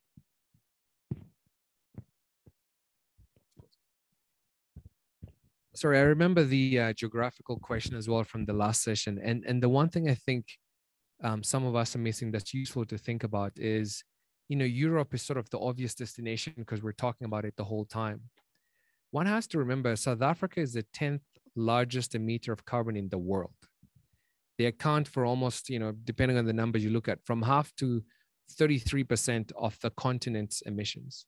Um, Sasol produces 2.5 million tons of gray hydrogen. Their first project is 300,000 tons. They're saying that whole area, maybe we can make 3 million tons.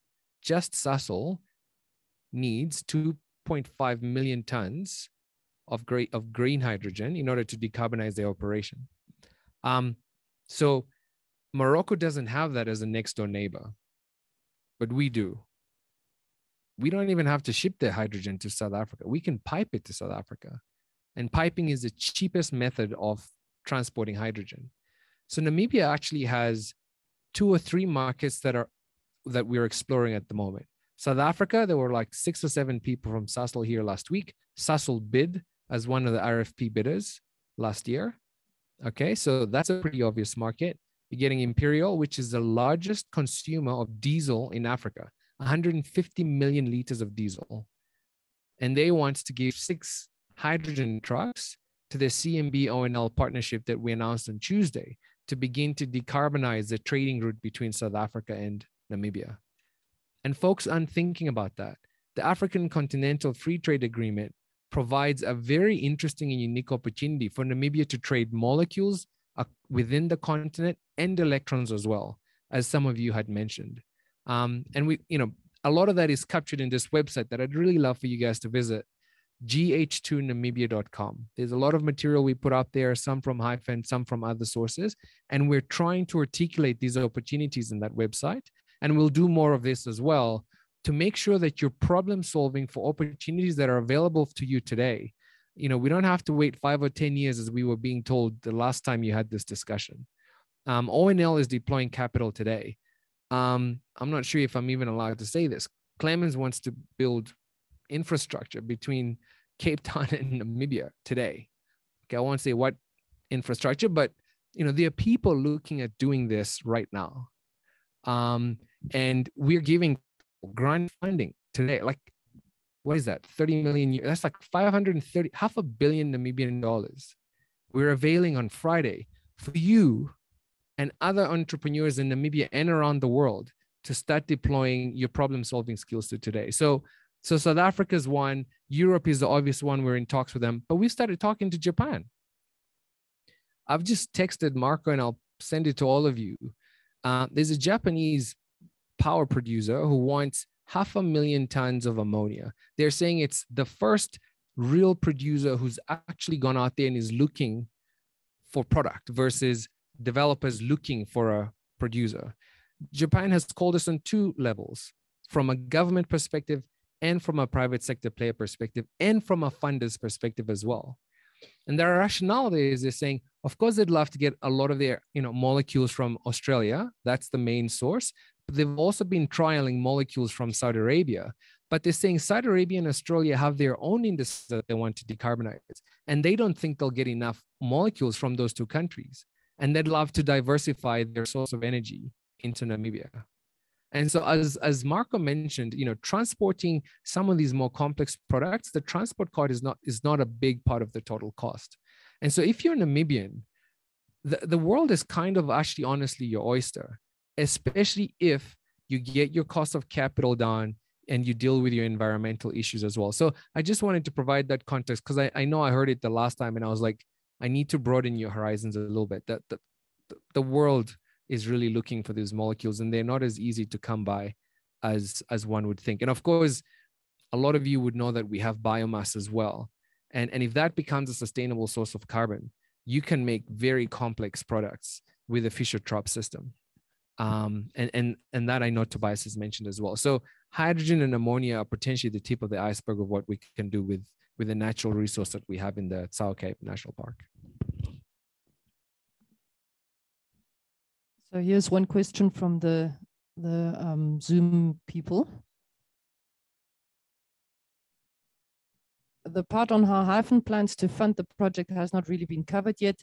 Your finances will ultimately determine whether your project will be funded. My questions, what do you likely finances have to say about the Namibian government's recent policy initiatives, including NEPA and NIEF, both of which could have a big influence on foreign direct investment if they were passed?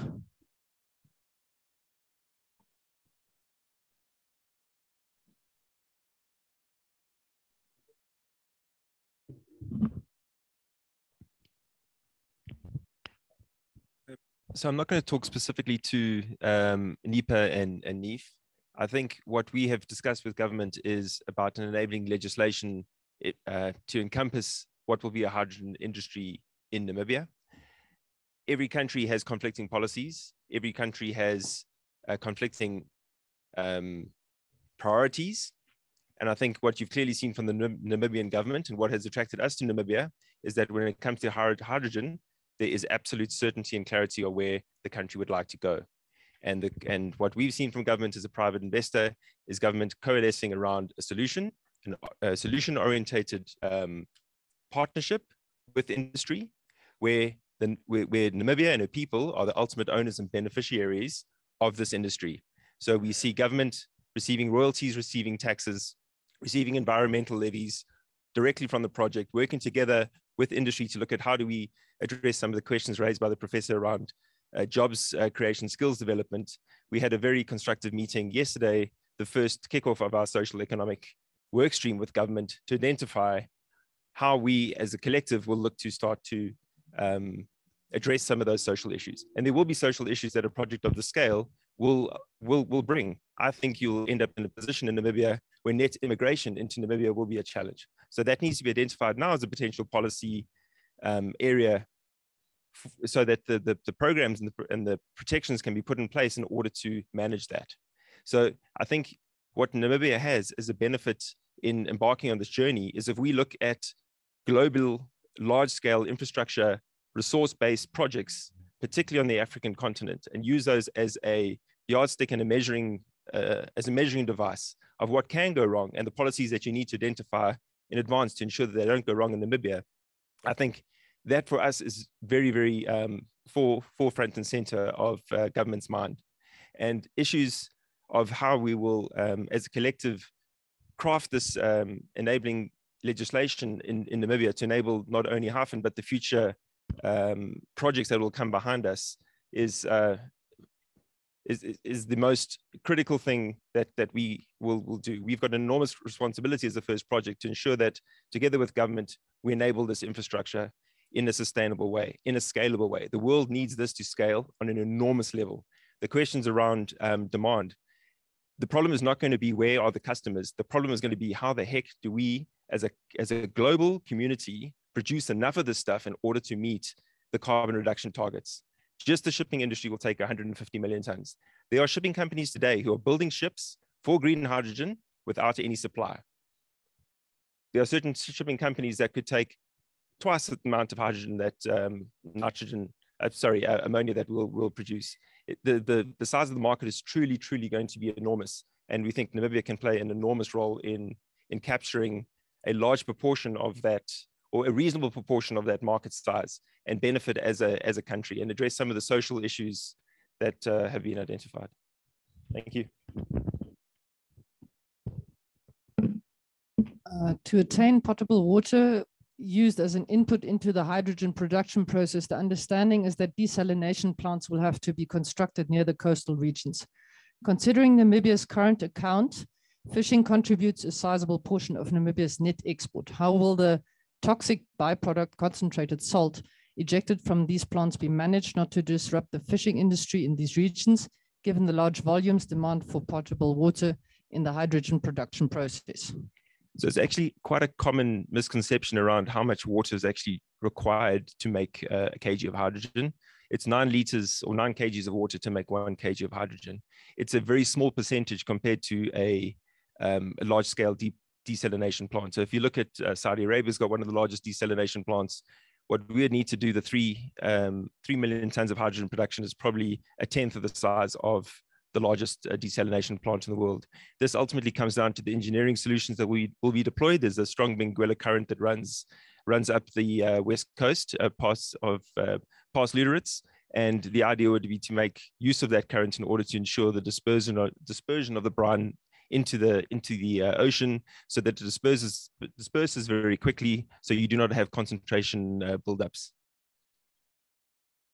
Also on the on the conservation side besides the need to preserve the conservatory area what other environmental risks impacts were considered for projects of such a magnitude and how does Hyphen intend to mitigate those risks? I'm not too sure what the question is trying to um, yeah, in, environmental risks in general. Um, so if, in terms of the process, uh, socially environmentally responsible investment uh, is regulated globally. As investors in a country, this is this will not be a Namibian decision around what will be approved or not approved. This will be regulated by the global investment community. Uh, the IFC is the um, arbiter of what is considered the gold standard in social in uh, social and environmentally sensitive investment. Um, and there are a set of principles and guidelines that the IFC mandates, which all international lenders of scale apply um, will, will apply in evaluating a project. It is our intention um, to comply with those requirements and produce the project in a socially and environmentally responsible way. There's a whole process that we need to embark upon in order to do that. Uh, we have appointed environmental consultants and as the project unfolds, we will be engaging in far more of these uh, open open forums where we will engage with with uh, interested and affected parties, the fishing communities, uh, uh people who are interested in brown hyena, uh, the uh, people who've got environmental concessions. For the world, in order to decarbonize, an enormous amount of land is required. That requires, and projects of this scale has never been done anywhere in the world. It requires an enormous amount of land to save the very environment that we all love, the environment is going to have to work together with projects, in our view, in order to achieve that achieve that balance. So the Tsau Khaeb as a, as a region, um, I was staggered when I saw that it was only 50 milliliters of uh, millimeters of rainwater a year in that area. Most of the rain, most of the water coming from, from the fog belt.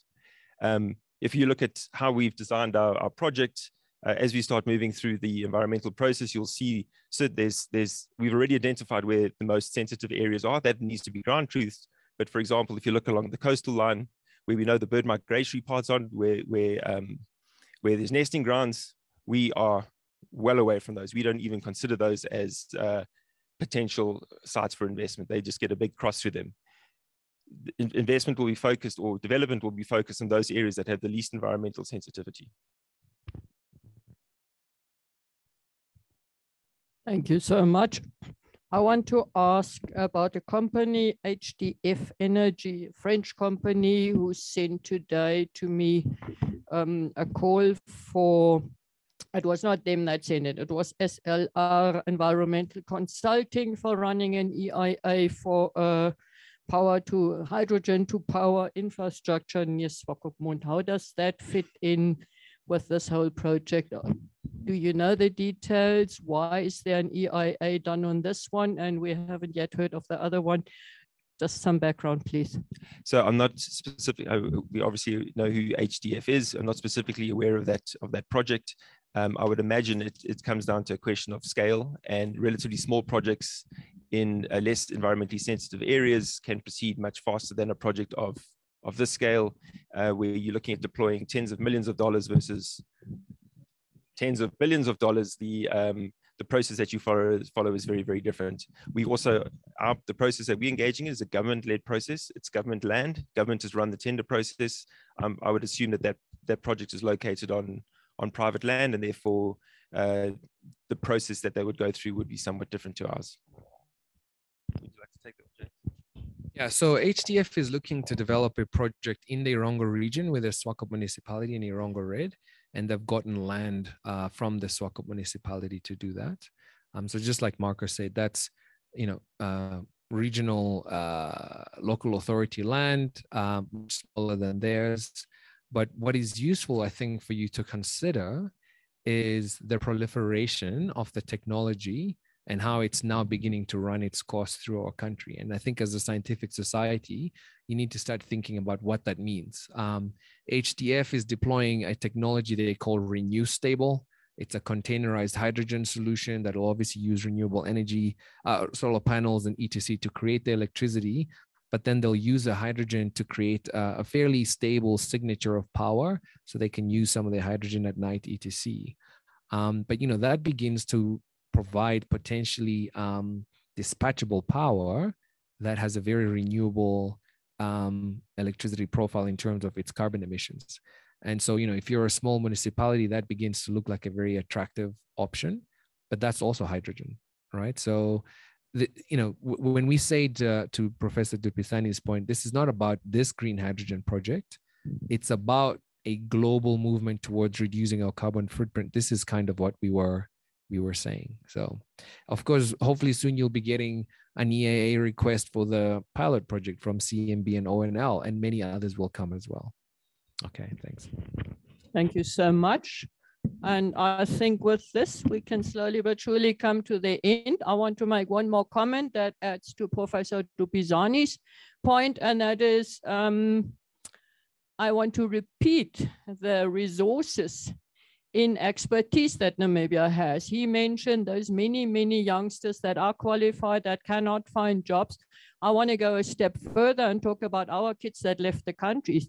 They are all between 30 and 40, and they did not come back because they were at that stage overqualified, as you would call it. Namibia could just not offer the opportunities. Now that they've grown up and they are coming to 40 years of age, they want to come home. So it would be a very good idea to post a call for Namibians to submit their qualifications, tell us where they are. Scientific Society has one initiative going of 120 youngsters that are invited for meeting, for connecting, for interacting, for being in touch. That's upon the invitation of the CEO.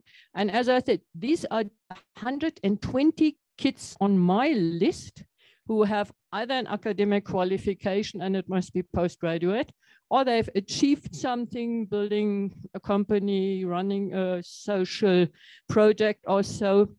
Some have left again to Oxford and Cambridge and wherever, but they are there. And this is a resource that we have. We need not go through Home Affairs. They have Namibian citizenship. They have the passion for the country. They want to be involved. They want to, as I said, come home and make an effort to keep Namibia steady and going. And whenever you do sign, um, um, are ready to sign up jobs, etc., etc., do send them to Namibia Scientific Society, to do post them on the Bright Minds page, to put them on the Facebook page, and give Namibians preference. I mean, obviously they will have to prove their performance, and this is on another level, but yes, I so much want to thank you.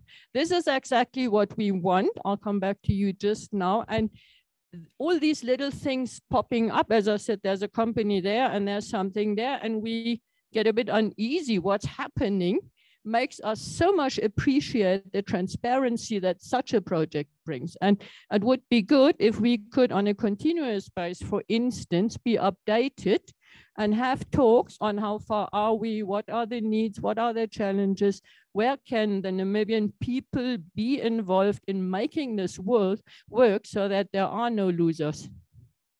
Yeah, I, th- I think you you raise a really good point, and and so did Professor du Pisani. Um, and, and again, sort of, you know, the government has has um, given various updates on NBC, on Facebook, etc about this program that we're running. So Sherilyn over here is an example of a Namibian who left to Stellenbosch, came back, and instead of going to work for one of you guys and earn a lot of money, she works in the presidency. She will not get a pay increase anytime soon. Um, but she is running a 5 million euro scholarship program, 75 million Namibian bucks for the next five years. And her job together with anyone here who's really willing to attract young capital into this industry is to find bright scholars uh, who are ab- abroad and and you know who want to come back um, but you know i think what i would really love to implore somebody you know a society like the namibian scientific society sherilyn is an electrical engineer right? But she works for government. Um, and you kind of have to recognize that there are people like her in government who would like to work with people like you. And we would love to be invited to talk to you about bringing more Namibians back home. Franz Kalenga is another example of a Namibian who left, went to Russia, has got law degrees, MBAs, and is back and he's working within the Namibian government. And he's now a special assistant to the Minister of Mines and Energy. And he's helping stitch all of this together. So there are plenty examples of Namibians. I'm one of them. I left. I went to Cape Town. I went to Joburg. I went to Harvard, but I came back as well. And as you know, I also stopped working for the private sector and I went back into government to try and create this sort of capacity that we need to turn the country around. So, so I sort of heard the concerns from all of you and Professor du Pisani, but colleagues, we won't fix it unless we're willing to roll up our sleeves and work together um, and really have that impact. So Sherilyn is working on that scholarship program. Uh, Professor Kaufman from BMBF is helping Sherilyn put that program together. The EU is helping Sherilyn put that program together. Hyphen is going to help us as government put together an internship program where they could start absorbing Namibians as early as this year. And if we go through the EIA, we will develop a program where students can, you know, work part-time and study part-time as well. So I think the message is the government, by the way, one more thing that we did when we were designing all this, other than also reaching out to the private sector and asking them to form an association to help us conceive an industry that is conducive for all of you, we also went to the educational institutions and we formed the Namibian Green Hydrogen Research Institute. And we encouraged NUST and Polytech to come together to put a national academic institution that would champion the intellectual capital around this particular industry. The Scientific Society of Namibia should go support NUST and Polytech, uh, NUST and, uh, and UNAM, right? Give, give them your expertise, give them funding, collaborate with them and help Sherilyn design her program so that she's not doing it alone. We've, we've done our bit as government. You know, we've given the ideas, they're public. We're getting people calling us from Russia, China, everywhere in the world. But you didn't even invite us. We invited ourselves to you. I saw you guys in your last session. I said, guys, like, why aren't you talking to us? So you didn't invite us. We came to you. Um, and in future, invite us. Let's work together. It's our country. We love our kids. We love our nature. So, so that's my plea to you. But I'd end off on a positive note and saying thank you so much for hosting us under the stars, a very romantic setting to talk about how we're going to reconstruct our country together, holding hands. That's the only way it should be done. So thank you very much for having us. I'm very humbled. Thanks.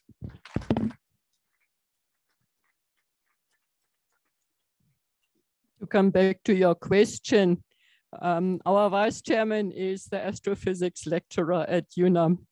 And one of our highly esteemed members whose book we um, published is Dr. Andrew Niikondo. You will probably know his position in NUST. So yes, we do work together with UNAM and NUST, and we have MOUs with like Gobabeb Training Center. By the way, they'll have their six years anniversary, and our scientific society was of the initiator of that Desert Research Foundation 60 years ago. So so, sorry to take the floor, but we are talking about very important thing, uh, skills training and education. And coming now, I'm from European Union ambassador, and please know Erasmus Plus is new and bigger uh, student and university mobility program. You need a lot of skilled people now at different levels, and it's not anymore only university level uh, education, also vocational training now. So please uh, talk to you or your universities to make university uh, uh, twinning with the European universities and get uh, funding from Erasmus Plus. Thank you so much. And into your second question, why have we not invited you? To be very honest, we are a platform that has no preferences and we learned that it's a bit difficult to get a response from government. So we've been waiting for those that are ready to talk to us to come. We, for instance, have very good connections to the research director of the Ministry of Water and um, tourism and environment. And we are too happy to now have this connection also. And we are so glad that you come, came and we've been waiting for you because we always said, so when will government come and participate and use the platform to bring up the um, thing? And I think this is a very good start and it makes me happy. It makes me grateful because the concern, and it's not only my concern, but many of, of my fellow Namibians was that with the hyphen project, as we all call, um, call it, an enclave would be built. And it was mentioned in one of the previous presentations. You've got this island in a country where people fly in and they have every commodity that they would love and they fly out again and they never knew they are in Africa, that type of thing. And now we actually are happy to hear that Namibians will be involved and that we do have an opportunity and that it is in fact our project future development as well. And with this, I want to once again say this is a platform for communication, for putting the facts on the table. Thank you so much for being transparent, for giving us the details. The presentations will be available. We take a few days, two, three, four days. Then it will be up on our website as a YouTube video. We would like to have your permission to hand out the slides. If there are people who want to ask, if you are available, may we give your contact details, especially James. Thank you so much. And I really hope you become a member of the society and we see you here again. And the same for you. Thank you so, so much.